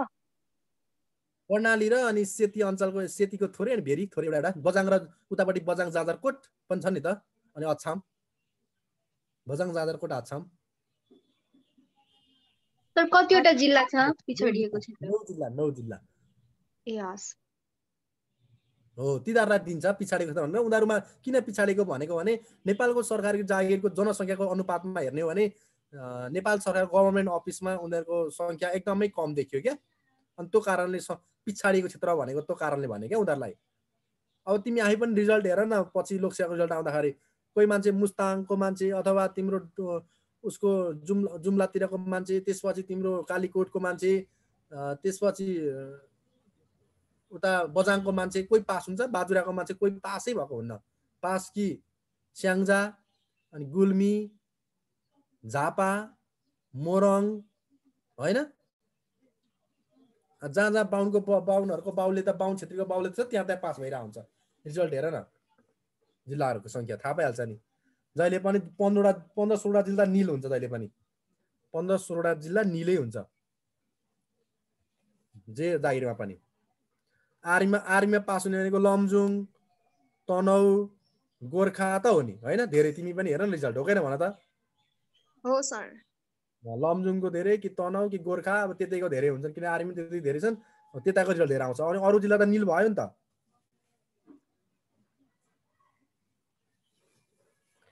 हो त्यो सर कारणले क्लास अब सकियो होइन फेरि अर्को पनि सोधेँ है। भन न। अनि सर यो कतै कतै पिछडा वर्ग पनि हुन्छ नि। ए, हुन्छ। पिछडा वर्ग त्यो पिछाडिएको भने वर्ग चाहिँ हो। के हो? यस्तो को- पनि पिछाडिएको वर्ग भनेको त्यो राष्ट्रको मूलधारमा उन्न सकेकै हो क्या उनीहरू राष्ट्रको मूलधारमा उन्न सकेका आम नागरिकहरू आम समुदायहरू जस्तै वादी समुदायहरू पिछाडिएका वर्ग भए चेपाङ जस्तै अब हो यो समावेशीकरणको नीति ल्यायो नि। अब पिछाडिएको किन भयो त्यही भन्यो क्या। अब चेपाङ खोइ जागिरमा निकालेको भन त। खोइ चेपाङ आएको खोइ राउटे आएको खोइ मेचे आएको भन त। खोइ राजी आएको भन त। खोइ दनुवार आएको। हो कि भन त। उनीहरू चाहिँ लास्टै पछाडिको भयो क्या लास्टै नै हो अब पिछडाका वर्ग नै भयो। उनीहरू अब केही गर्दा पनि अहिले तत्कालै समावेशीकरण यहाँ समावेशीकरणको नीतिको नाममा त्यही हो भने भने नि नियरहरू त्यसपछि राई लिम्बू अनि गुरुङहरू अनि अन्य दुई चारजना जातिले मात्रै चान्स पाएका छन् अरू भनेको जस्ताको तस्तै छन्। अनि ती भनेको लाइक छेत्री बाहुनसँग पनि कम्पिटिसन गर्न सक्ने मान्छे हुन्। हो कि भन त। त्यही हो। तिनीहरू पिछाडिया अल्पसङ्ख्यक भन्छ क्या पिछाडिएका पिछाडा वर्ग अल्पसङ्ख्यक सीमान्तकृत अति सीमान्तकृत अनि लोपनमुख होइन? लोप लोपनमुख। सर अनि के अरे त्यो छेत्री बाहुनलाई चाहिँ के भन्छ? आदिवासी? भन्छ कि भन्छ? छेत्री बाहुनलाई चाहिँ के भन्छ? छेत्री बाहुनलाई आर्य भन्छ केही पनि भन्दैन यसलाई अब अहिले खस आर्य भन्छ अहिले। खस आर्य। आर्य खस आर्य। उनीहरूलाई पनि कोटा दिने कुरा छ अहिले चाहिँ। ल। त? उनीहरू उनीहरू फाइट गर्ने दिने कुरा छ पारित भइसकिरहेछ अब बाँकी आउन मात्रै बाँकी छ संसदबाट त्यो के अरे लोपन्मुखको भनिदिनु न त्यो हिजो भन्नुभएको थियो मेचे मात्रै भन्नुभएको थियो अनि अरू छुटेको थियो? र? हो त सर। अब सबै त्यो मेरा कुराले हाँसु कि बकु छ मैले मेरा कुराले हाँसु कि बकु भनेर तिमीले खोजेनौ मैले भेटिनँ सर खोजेर नि भेटिनँ के गर भने केही गर्नु पर्दैन नेपालका जात जाति तथा सम्बन्धित टपिक हेर त नेपालका जात जाति भनेर आफूले खोज्दा झन् भेटिन्छ मजाले नेपालका जात जाति भनेर टपिक अनि तिमीहरूसँग ऊ छ भन त के अरे नेपाल परिचय भन्ने छ छैन। एप हो सर यो छैन पिडिएफ फाइल छ त्यहाँ गएर हेर तिम्रो त्यो सबै जात जाति सम्बन्धित त्यहाँ भेटिन्छ बुझ्यौ? म तिमीलाई लिङ्क पनि पठाइदिउँला नभए। सर पठाइदिनु है सर। त्यहाँ जात जाति सम्बन्धी।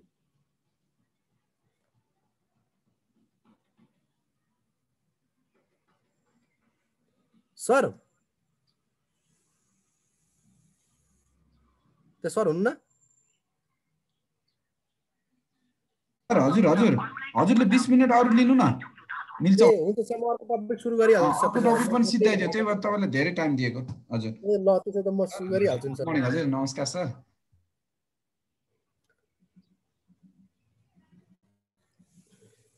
अब हाम्रो अर्को टपिक हामी सुरु गरौँ सर हजुर के अरे त्यो नेपालमा एक सय उन्तिस जात जाति छन् अनि त्यसमा उन्साठी आदिवासी जनजाति अनि अरू कुन कुन के के पर्छ सर उन्साठी छेत्री बाहुनहरू परी फ्री थुप्रो छ नि उन्साठी जन्म छ परी फ्रीहरू जाति मगैया जाति लालकट जाति एक सय उन्तिस जाति हो नि त थप भएको जाति तिमीलाई थाहा छ? भाइ म यहाँ सेयर मिल्यो भने सरले मात्रै मिल्दो रहेछ मैले मिल्दो रहेछ नि त सेयर गर्न गर्थेँ म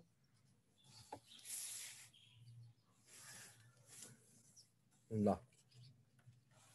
ल, अब हामीलाई केही छ त? क्वेसन भन अझै पनि क्वेसन छ भने भन। भन भन। छैन अब सर हजुरले लिङ्क पठाउनु भएपछि अनि हामी आफै हेर्छौँ।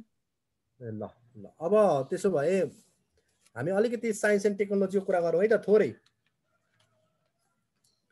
ओके सर नम्बर सिक्समा अनि त्यसपछि आर्मी पढ्ने। आर्मीको मन भोलि पर्सिबाट सकिदिइहाल्छु आर्मीको सुई सुई अब खेती प्राप्त वैज्ञानिक तिनको आविष्कार र योगदानहरूको बारेमा पढ्नुपर्छ भनेको छ। तिमीले खेती प्राप्त वैज्ञानिक भन्ने बित्तिकै यहाँ को को छन् भन्दा अल्बर्ट आइन्स्टाइन त्यसपछि सर आइजेक न्युटन अनि Stephen Hawking madam Curie Archimedes Galileo Galileo John Dalton Marie Curie अनि त्यसपछि Thomas Louis Pasteur Thomas Alva Thomas Alva Edison र गुलिमो मार्कोनी। मार्कोनीको बारेमा जान्नु भनेको छ। अब हामीले सर र भन्दाखेरि तिमीले अब सुरु गरौँ मार्के आर्कामेटिसकै बारेमा जस्तै आर्कामेटिसले के अरे त भन्दा give me place to stand on I'll will move the earth भनेर यदि मलाई पृथ्वीमा बस्ने अथवा उभिने ठाउँ दियो भने म संसार हल्लाइदिन्छु भनेर भनेका थिए। त्यो भनेको उनले उत्तोलकको सिद्धान्त प्रतिपादन गर्दाखेरि बोलेको शब्द हो र यो संसारभरि प्रसिद्ध भनाइ पनि हो। आर्कामेटिसको उनको जन्म ईसा पूर्व तिम्रो दुई सय सतासीमा ग्रिस भन्ने ठाउँमा भएको थियो र मृत्यु भनेको दुई सय बाह्र किनभने ईसा पूर्व चाहिँ घट्दो क्रममा हुन्थ्यो घट्दो क्रममा हुन्थ्यो। अनि यी मान्छेलाई चाहिँ अनुसन्धानकै क्रममा अनुसन्धान क्रममा चाहिँ रोम सम्राज्य रोम साम्राज्यका सेनाहरूले त्यो बेलाका रोम सेना सेनाहरूले चाहिँ उसलाई भाला रोपेर हत्या गरेका थिए। अनि यिनले गरेका कामहरू के के हुन् त भन् त भन्दा यिनले सूर्य र चन्द्रमाको व्यास नाप्ने तरिका पत्ता लगाए। त्यसपछि सूर्य र चन्द्रमाको व्याससँगै यिनले ठुलो सङ्ख्यालाई सानो सङ्ख्यामा लेख्ने प्रविधिको विकास गरे भन्न खोजेको टेन फाइभको पावरमा सिक्स टेनको पावरमा एट टेनको पावरमा नाइन यसरी हुन्छ नि। ठुलो अङ्कलाई सानो अङ्कमा लेख्ने विधिको विकास गरे। त्यसपछि यिनले सिलिन्डरको सिलिन्डरको क्षेत्रफल आयतन निकाल्ने। त्यसपछि प्याराबोलाको क्षेत्रफल आयतन निकाल्ने। त्यसपछि स्पियरको आयतन क्षेत्रफल निकाल्ने र अचर राशि होइन पाइको मान बाइस बट्टे सात हुन्छ भन्ने कुराको प्रतिपादन पनि कसले गरेका हुन् त? भन्दा आर्कामेटिजले नै गरेका हुन् आर्कामेटिजले नै गरेका हुन्। अनि यिनले ल फ्लसनको नियम है ल फ्लसनको नियम पनि यिनले गरेका। कुनै पनि वस्तुलाई पूर्ण वा आंशिक रूपमा तरल पदार्थमा डुबायो भने त्यस वस्तुको तोल बराबर तरल पदार्थमा विस्थापन गर्दछ भन्ने सिद्धान्तको नियम पत्ता लगाए किनभने कक्षा दसमा तिमीहरूले यो पढिसकेका छौ होइन?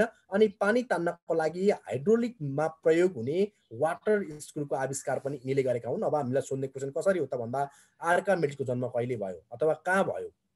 होइन? ग्रिसको सिसिलीमा भयो। आर्कामेटिसका गुरु को थिए? भन्दा आर्कामेटिसका गुरु युक्लिड भन्ने थिए। युक्लिड भनेका को हुन् त भन्दा फादर अफ जोमेट्री पनि हुन्। फादर अफ जोमेट्री पनि हुन्। अनि आर्कामेटिसले जीवन लेख्न जीवनी लेख्ने व्यक्ति को हुन्? आर्कामेटिजको जीवन लेख्ने व्यक्ति हेरोडट्स भन्ने मान्छे हुन्। हेरोडट्स भन्ने मान्छेले आर्कामेटिजको जीवनी लेखेका हुन्। ऐन ऐनाको आविष्कार मिररको आविष्कार कसले गरे त भन्दा ऐनाको आविष्कार भनेको पनि कसले गरे त भन्दा आर्कामेटिजले नै गरे। अनि जोमेट्रिकल मोनिस्टर होइन यो के अरे ज्यामितिका राक्षस भनेर कसलाई चिनिन्छ भन्यो भने ज्यामितिका राक्षस भनेर चिनिने पनि आर्कामेटिज चाहिँ हुन् होइन। अनि त्यसपछि प्रयोगात्मक विज्ञानका पिता प्र्याक्टिकल साइन्सका पिता होइन प्रयोगात्मक विज्ञानका पिता को हुन् भन्दा गऱ्यो भने प्र्याक्टिकल साइन्सका विज्ञानका पिता पनि को हुन् त? आर्कामेटिज नै हुन्। आर्कामेटिज नै हुन्। अनि आर्कामेटिजले पुर्याएको योगदान के हुन्छ त भन्दा त्यो गणितमा विज्ञानमा त्यसपछि मा योगदान पुर्याएका हुन्। आर्कामेटिजका सबै सिद्धान्तहरू केमा मान्दै आएका छन् भन्दा गणितमै मानिँदै आएका छन्। हामीले जान्ने यति नै हो यसको मूल वैज्ञानिक।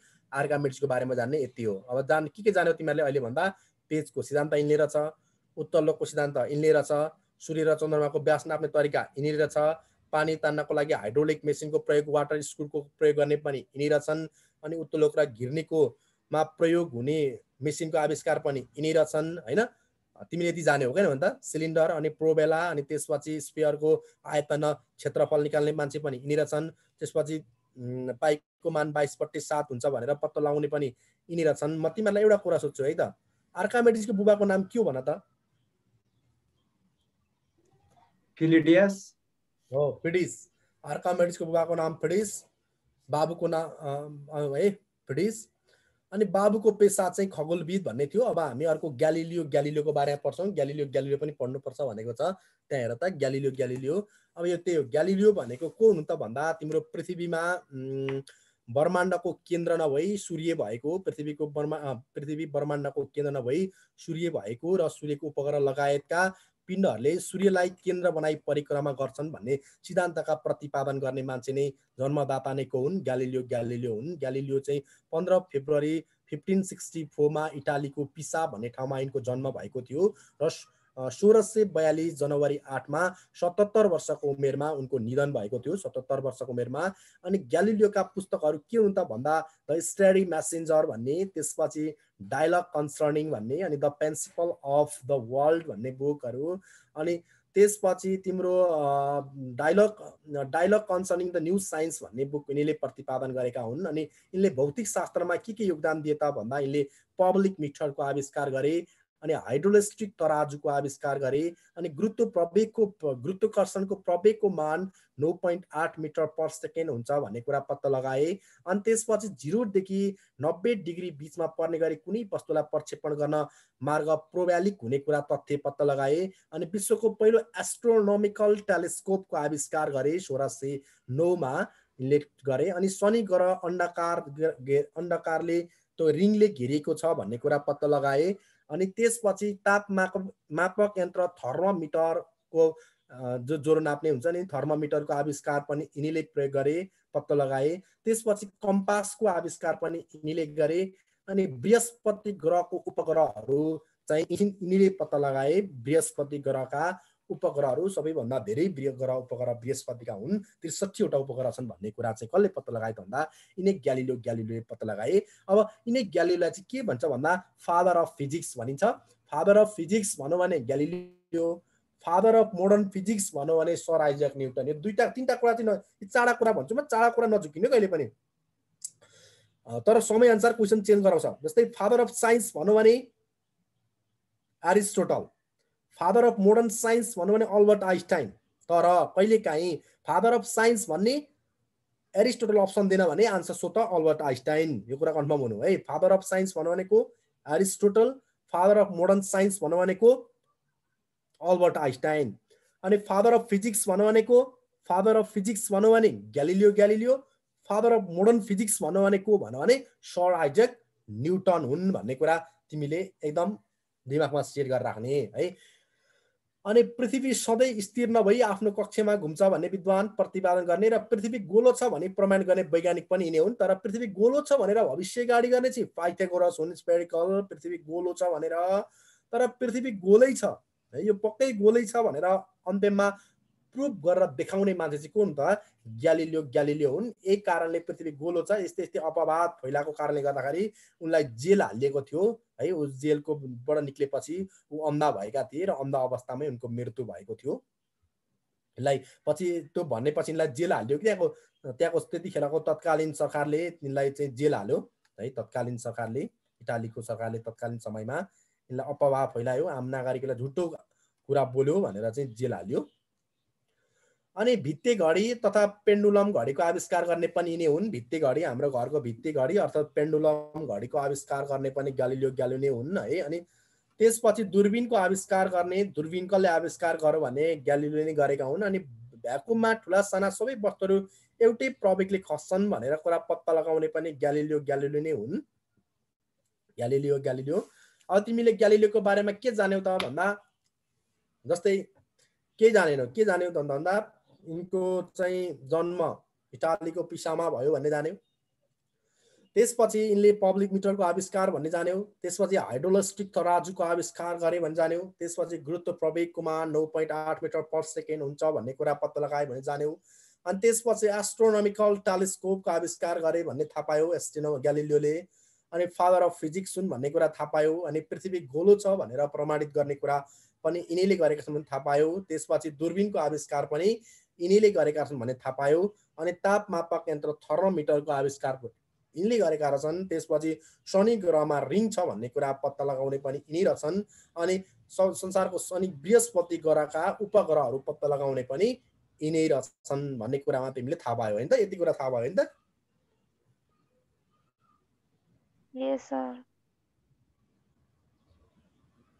ल अब त्यसपछि सर आइजक न्युटन है न्युटनको जन्म तिमी न्युटनको जन्म सोह्र सय बयालिस डिसेम्बर पच्चिसमा बेलायतमा भएको थियो। उनको मृत्यु सोह्र सय सत्र सय छब्बिसमा मार्च बिसमा भएको थियो। है यी पनि त्यही हो। चर्चित विद्वान फेरि। भनिदिनु न चौरासी भन्नुको कि कति भन्नुको ए सोह्र सय बयालिस डिसेम्बर पच्चिसमा जन्म सोह्र सय बयालिस डिसेम्बर पच्चिसमा जन्म सत्र सय छब्बिस मार्च बिसमा मृत्यु। यिनको जन्म बेलायतमा भयो बेलायतमा। बेलायती वैज्ञानिक हुन्। है बेलायती वैज्ञानिक हुन्। अनि त्यसपछि यिनले गरेको कुराहरू के हुन्छ भन्दा ब्रह्माण्डका प्रत्येक वस्तुहरू एक आपसमा आफ्नो क्षमता अनुसार आफूप्रति आकर्षित हुन्छन् भन्ने कुराको न्युटनद्वारा प्रतिपादित सिद्धान्त हो। सोह्र सय सडसठीमा प्रतिपादन गरेका थिए। अनि गुरुत्व प्रवेगले गर्दा के अरे गुरुत्व बलले गर्दा हुने प्रवेगलाई साधारणतया केले सङ्केत गरिन्छ भन्दा जीले हो त्यो जी भन्ने शब्दको उच्चारण पहिलोचोटि यिनले गरेका हुन्। अनि अप्टिक्स र अप्टिक्स र प्रिन्सिपिया नामका पुस्तक लेख्ने पनि आइज्याक न्युटन नै हुन्। अप्टिक्स चाहिँ इम्पोर्टेन्ट है यो टिप अप्टिक्स र प्रिन्सिपिया। प्रिन्सिपिया यो सोधेको छ।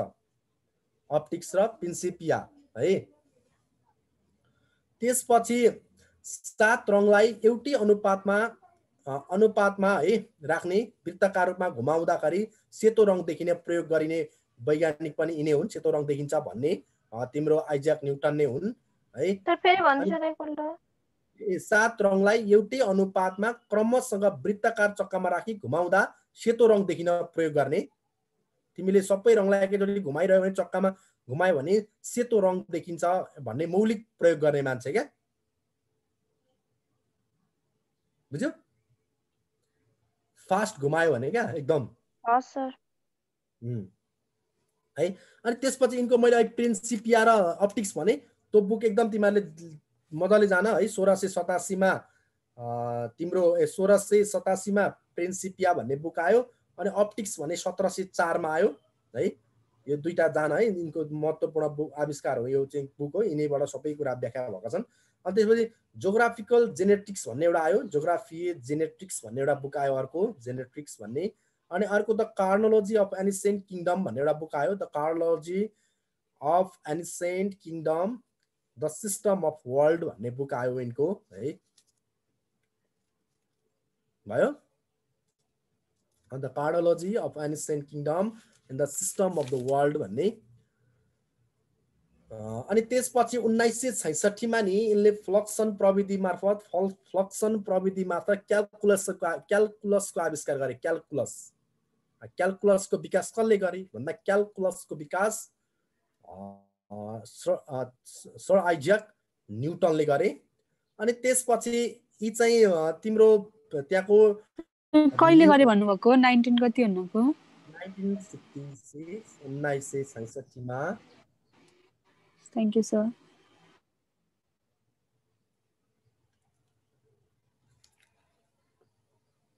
ल म पानी खान्छु ल एकछिन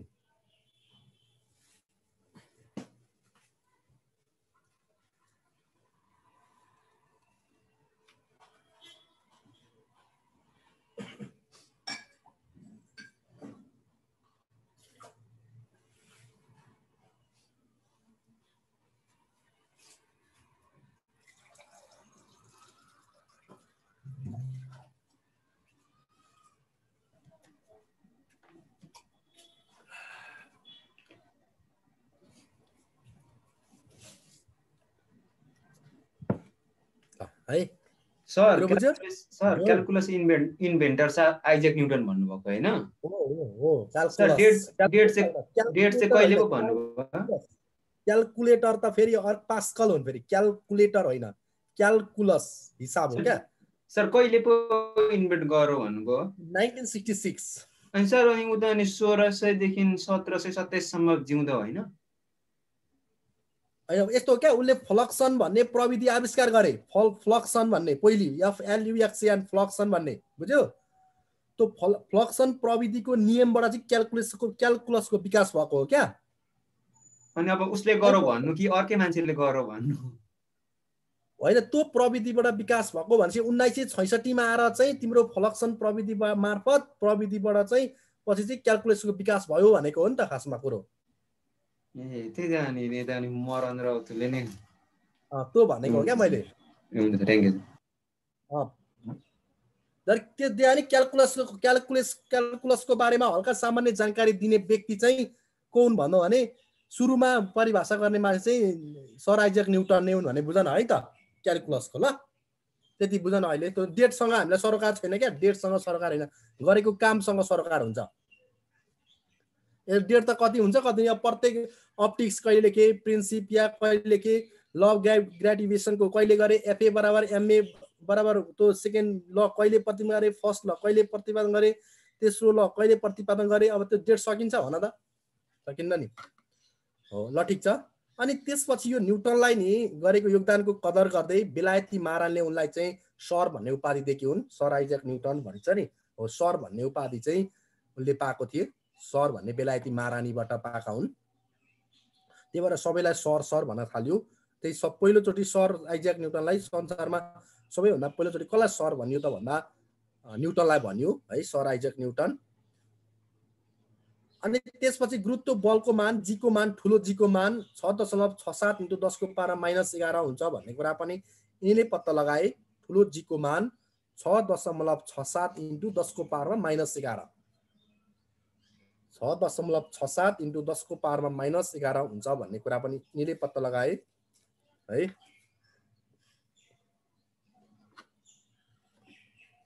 अनि चालको नियम चालहरूको नियम पनि कसले पत्ता लगाए त भन्दा चालको नियम पनि यिनीले पत्ता लगाए है?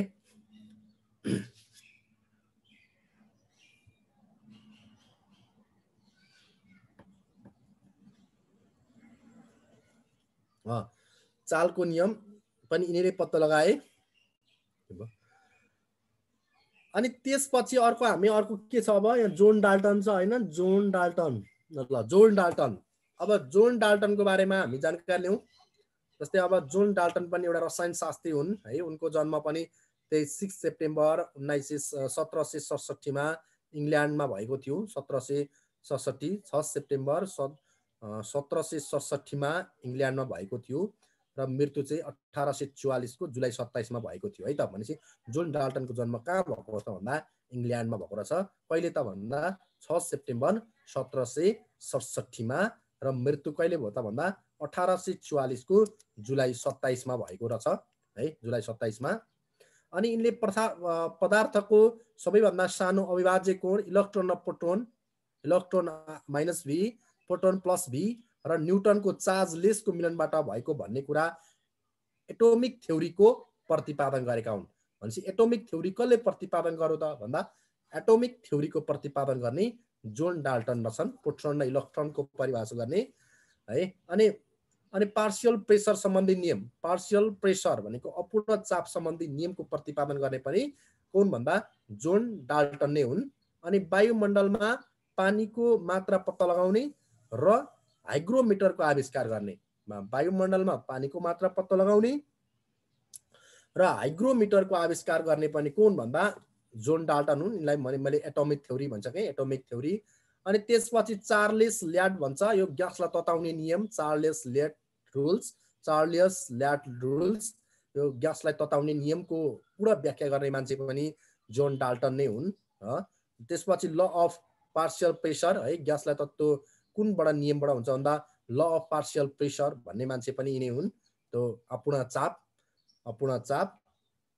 अनि जोन डाल्टनलाई विधागत रूपमा कुन विधासँग सम्बन्धित छन् भन्दा यी केमिस्ट्री है तिम्रो रसायन शास्त्रसँग सम्बन्धित छन् रसायन शास्त्र। अनि परमाणु भनेको पदार्थको सूक्ष्म कण भन्ने भनाइ यिनीले सुरु गरेका हुन् पहिले। परमाणु भनेको चाहिँ पदार्थको सबैभन्दा सानो सूक्ष्म कोण हो भन्ने कण हो भन्ने कुरा पनि यिनै जोन डाल्टनले भनेका थिए। अल्टी मल्टी मल्टिप्लाई प्रोपोरेसन भन्छ। मल्टिप्लाई प्रोपोरेसनको नियमको प्रतिपादक गर्ने पनि जोन डाल्टन नै हुन् है जोन डाल्टन। अनि त्यसपछि जोन डाल्टनले जलवायु मौसम सम्बन्धीको सङ्ग्रह पनि प्रकाशन गरेका थिए। जलवायु परिवर्तन सम्बन्धी मौसम सम्बन्धीको सङ्ग्रह पनि यिनले प्रकाशन गरेका थिए।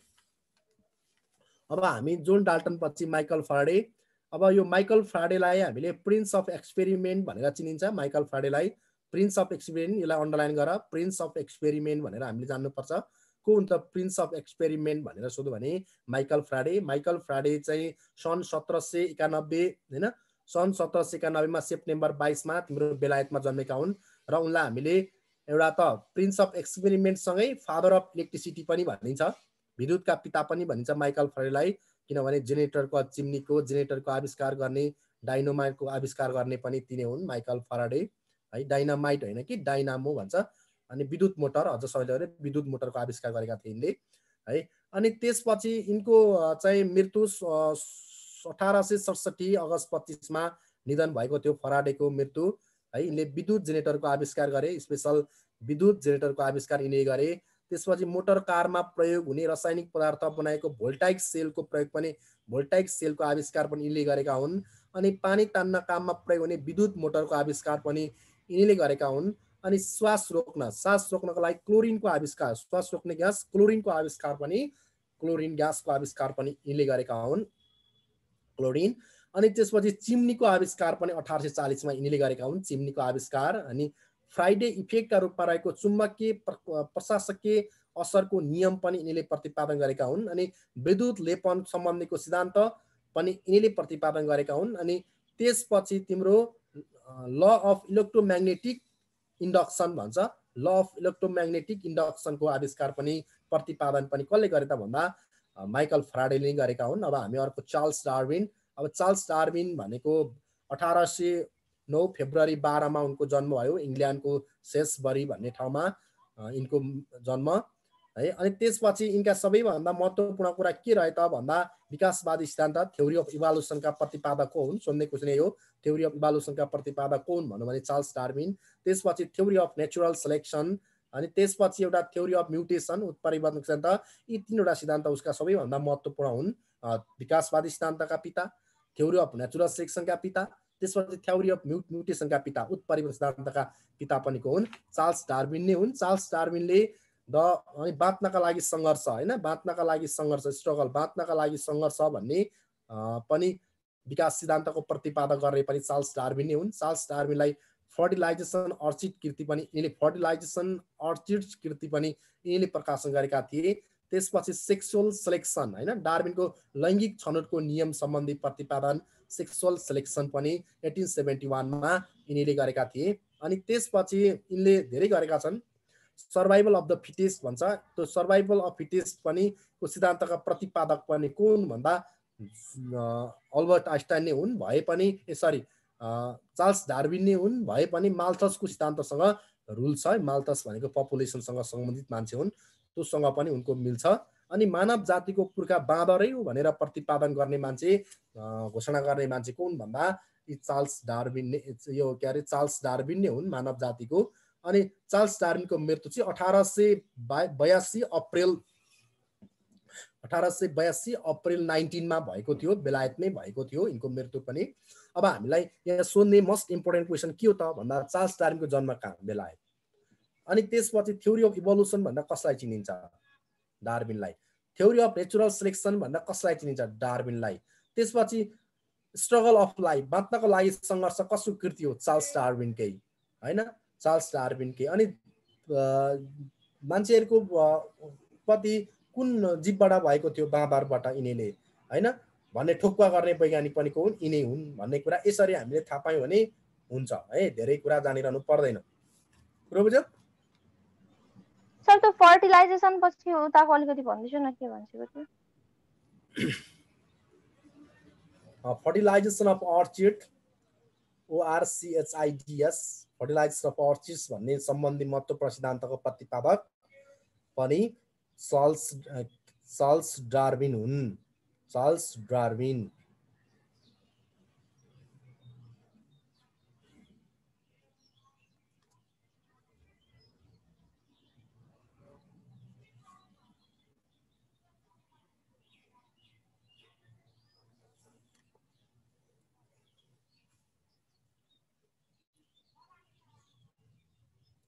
ल। अनि त्यसपछि अर्को अल्बर्ट आइन्स्टाइन है? अल्बर्ट आइन्स्टाइन पनि जर्मनीको वुल्फ भन्ने सहरमा यिनको जन्म भयो तर पढाइ चिन्दै स्विजरल्यान्डमा गरे। अनि त्यसपछि पछि यी अमेरिकाको अगाडि बसेका हुन् तर यिनको जन्म चाहिँ कहाँ भयो त भन्दा जर्मनीमा भयो उन्नाइस सय एकमा सरी अठार सय उनासी eighteen seventy nine nine March फोर्टिनमा जर्मनीमा यिनको जन्म भयो। अनि त्यसपछि यिनले प्रारम्भिक शिक्षा चाहिँ स्विजरल्यान्डमा गरेका थिए। अनि यिनले उन्नाइस सय एक्काइसमा फोटो इलेक्ट्रिक भन्ने सब्जेक्टमा इलेक्ट्रिक इफेक्ट विषयमा चाहिँ यिनले विश्वमा नोबेल पुरस्कार पाएका थिए उन्नाइस सय एक्काइसमा यो इम्पोर्टेन्ट हुन आउँछ। त्यसपछि आइन्स्टाइनको मृत्यु चाहिँ उन्नाइस सय पचपन्न ए सरी उन्नाइस सय पचपन्न अप्रेल अठारमा भएको थियो। यिनले उन्नाइस सय तेत्तिसमा जर्मनीको नायकता त्याग गरेर अमेरिकी नागरिक बनेका थिए। पछि यिनलाई अमेरिका गइसकेपछि तिम्रो के अरे एटम बम ई बराबर एमसी स्क्वायरबाट तिम्रो एटम बम प्रतिपादन गरेपछि र हिरोसिमा र नागासाकीमा सिक्स अगस्त र नाइन अगस्तमा खसालेको bomb the little boy the fat man bomb यिनैले बनाएका खसालिएको थियो अमेरिकाबाट अमेरिकाले ई बराबर एमसी स्क्वायरबाट प्रतिपादन भएको त्यही बमलाई अनि त्यसपछि यिनलाई चाहिँ इजरायल भन्ने देशले चाहिँ राष्ट्रपति बन्ने अफर दिएको थियो तर यसले पछि मानेनन् राष्ट्रपति बन्ने अफर।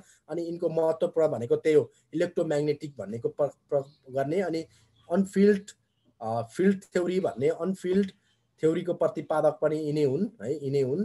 त्यसपछि यिनको यिनै कुरा हुन् यिनलाई अब मैले अघि भने यिनको वै यिनको अहिलेसम्म पनि विश्वमा सबैभन्दा बेसी दिमाग युज गर्ने वैज्ञानिक भनेर यिनलाई चिनिन्छ संसारमा सबैभन्दा धेरै युज गरेको दिमाग युज प्रयोग गरेका मान्छे भनेर यिनलाई चिनिन्छ वर्स्ट आइन्स्टाइनलाई अनि यिनको अहिले पनि मस्तिष्क भनेको अमेरिकाको प्रिन्सटन अस्पतालमा सुरक्षित राखिएको छ भनिन्छ।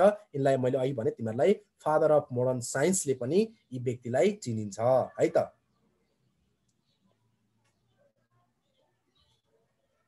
भयो? भयो सर। अब अब म्याडम क्युरी म्याडम क्युरी यो बाल्यकालको नाम म्यारी म्यारी स्लो दोस्का नाम हो? है यी अठार सय सडसठी नोभेम्बर सातमा यिनको जन्म पोल्यान्डको राजधानी बार्सामा भएको थियो।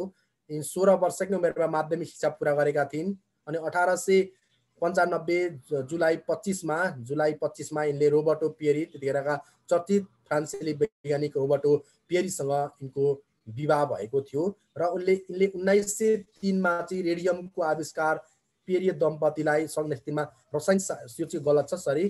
तिम्रो के हो भने उन्नाइस सय तिनमा यिनले नोबेल पुरस्कार पाइन्।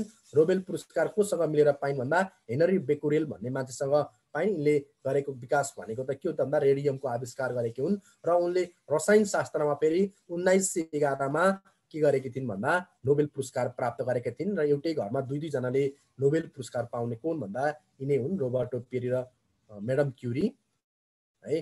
अनि यिनले रेडियम रेडियम पोलेनियम तत्त्वको बारेमा अध्ययन गरे बापत म्याडम क्युरीले दोस्रो पटक कहिले भन्दा उन्नाइस सय एघारमा चाहिँ नोबेल पुरस्कार पाइन् है त? म्याडम क्युरीको निधन उन्नाइस सय चौतिसमा नाइन्टिन थर्टीकोमा भएको थियो। अनि पहिलो नोबेल पुरस्कार पाउने पहिलो महिला पनि यिनै हुन्। पहिलो महिला नोबेल पुरस्कार पाउने पहिलो महिला पनि म्याडम क्युरी नै हुन्। म्याडम क्युरीका पतिले क्युरीसँगै मिलेर यिनले लगा पत्तो लगाएको तत्त्वको नाम चाहिँ युरेनियम भन्ने तत्त्व चाहिँ बुढीसँगै मिलेर तर रेडियम पनि आविष्कार गरिन् युरेनियम पनि आविष्कार गरिन् सबै कुरा आविष्कार गरे पनि लास्टमा उनको मृत्यु चाहिँ क्यान्सर भन्ने रोगकै कारणले गर्दा मृत्यु भएको थियो यिनको है। क्यान्सर सम्बन्धी रोगहरू सम्बन्धी पत्ता लगाएर यस्तो औषधि यस्तो गर्ने सम्बन्धी सबै कुरा पत्ता लगाएर लास्टमा उनको मृत्यु पनि क्यान्सरबाटै मृत्यु भएको थियो यिनको। अनि प्रथम विश्वयुद्धमा आउने म्याडम क्युरीले अस्पतालमा सेवामा गरेर समाजसेवीको भूमिका खेलिन् प्रथम वर्ल्ड वारमा है। उनले उनले प्रथम वर्ल्ड वारका सबै सैनिकहरूलाई चाहिँ आफ्नो सेवा दिएकी थिइन्। डाक्टरले आफ्नो उपा गरेको है आफ्नो युज भएको क्षमताहरू प्रयोग गरेकी थिइन्। उनले रेडियोलोजी सेवामा बसेर। अब अर्को कुन छ हाम्रो? Galileo Galileo Michael Faraday Charles Darwin अब स्टेफन हकिन्स बाँकी अनि म्याडम क्युरी अब लुई पास्चर होइन अनि अब गुलिलियो मार्कोनी है त सिङ गुलिलियो मार्कोनीको बारेमा त्यही हो। मार्कोनी भन्ने बित्तिकै रेडियो भन्ने सम्झिहाल अरू केही नसम्झ। यिनले रेडियोको आविष्कार बनाएका हुन् है? मार्कोनले अठार सय चौहत्तर अप्रिल पच्चिसमा इटालीको बेङ्गलोर बेङ्गलोर भन्ने ठाउँमा यिनको जन्म भयो अनि त्यसपछि उन्नाइस सय सैँतिस जुलाई बिसमा यिनको मृत्यु भयो। यिनले गरेको काम भनेको त्यही हो रेडियोको आविष्कार गरेका हुन्। अर्को खासै यिनको त्यस्तो धेरै केही छैन। यिनको है रेडियो नै हो। रेडियोको परीक्षण गर्ने प्रसारण गर्ने अनि टेलिग्राफ मार्फत आविष्कार गरेपछि मा यिनलाई पनि भौतिक शास्त्रको तर्फको नोबेल पुरस्कार उन्नाइस सय नौमा दिएको थियो। बेतार टेलिग्राफको बिना तारको टेलिग्राफको आविष्कार गरे बापत यिनलाई मार्कोनीलाई पनि के दिएको छ त भन्दा भौतिक शास्त्रको नोबेल पुरस्कार दिएको थियो है। अनि त्यसपछि यिनलाई मार्कोनीले युरोप र अमेरिकालाई चाहिँ वायरलेस टेलिग्राफ मार्फत जोडेका थिए। अनि वायरलेस पद्धतिको विकास गर्ने व्यक्ति पनि कुन भन्दा मार्कोनी नै हुन्। अब तिमीले मार्कोनीको धेरै बुझ्नु परेन।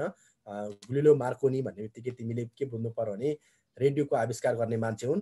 अनि वायरलेस टेलिग्राफी वायरलेस टेलिग्राफी अथवा वायरलेसको आविष्कार गर्ने मान्छे पनि यिनी हुन् र यिनले भौतिक शास्त्रमा चाहिँ त्यही बेतार टेलिग्राफ वायरलेस टेलिग्राफको आविष्कार गरे बापत यिनलाई उन्नाइस सय नौमा चाहिँ नोबेल पुरस्कारबाट विभूषित गरिएको थियो। त्यो जान्ने? अनि त्यसपछि लुई पास्चर लुई पास्चर भनेको माइक्रोबायोलोजीका संस्थापक हुन् है सर्टकट भन्दा माइक्रोबायोलोजीका संस्थापक लुई पास्चर हुन्।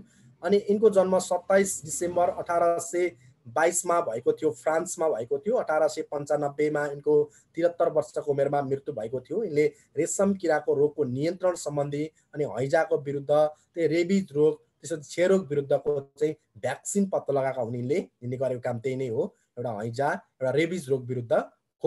प्रतिपादन यिनको चर्चित रेबिज रोग विरुद्धको खोप प्रतिपादन गर्ने व्यक्ति हुन् यो लुई पास्चर भन्ने मान्छे है। अनि त्यसपछि क्यास्ट्रोलोग्राफी भनेर भनेर चिन्छ वैज्ञानिकलाई लुई पास्चरलाई।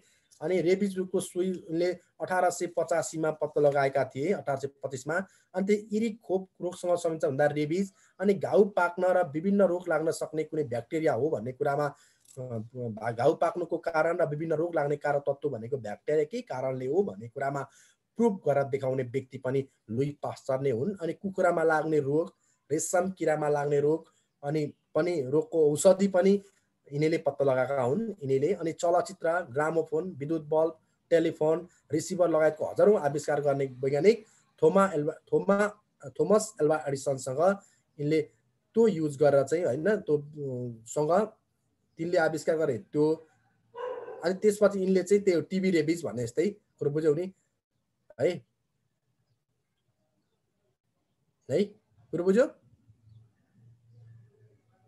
हेलो हेलो बुझिँदैछ सर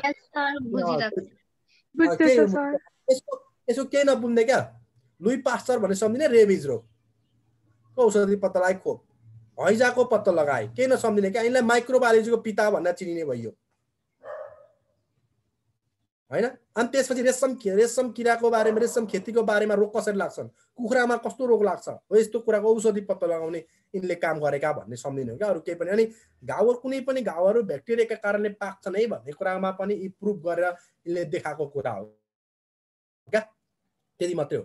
अब त्यसपछि Thomas Thomas Alva Edison Thomas एल्वाडिसनलाई आविष्कारका पिता भनेर चिनिन्छ। यिनलाई आविष्कारका पिता। यिनले झन्डै तिम्रो एक हजार तिरानब्बेवटा वस्तुहरूको आविष्कार गरेका थिए। यिनको जन्म अठार सय सत्तालिस फेब्रुअरी एघारमा अमेरिकामा भएको थियो। अमेरिकामा यिनको है अनि उन्नाइस सय भएको थियो अनि अठा उन्नाइस सय एकतिस अक्टोबर अठारमा चाहिँ यिनको मृत्यु भएको थियो। यिनले गरेको आविष्कार भनेको टेलिग्राफ गरे आविष्कार अठार सय अडसट्ठीमा टेलिग्राफ।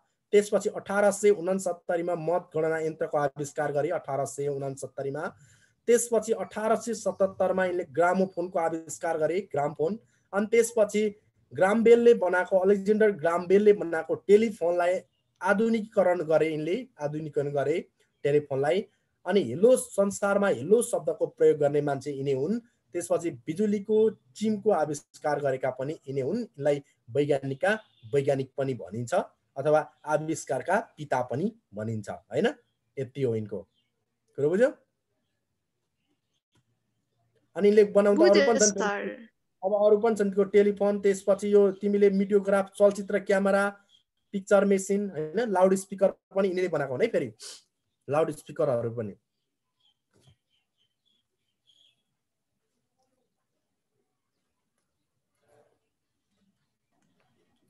लाउड स्पिकरहरूको पनि आविष्कार यिनीले गरेका हुन्। थोमस एल्वा एडिसनले नै गरेका हुन्। एकैछिन है म सर हजुर। अँ तपाईँको क्लास अब रोकौँ होला सरहरू आएर वेट गरिरहनु भएको छ है? हुन्छ सर ल। ल सियु टुमोरो अलिकति सक्नु सर कि? सिद्धि अहिलेलाई Pradeep sir you go ahead uh हुन्छ सर थ्याङ्क यू सर ल a good day. सुरु गर्नु सुरु गर्नुहोस् गुरु सुरु गर्नुहोस् हजुर ल।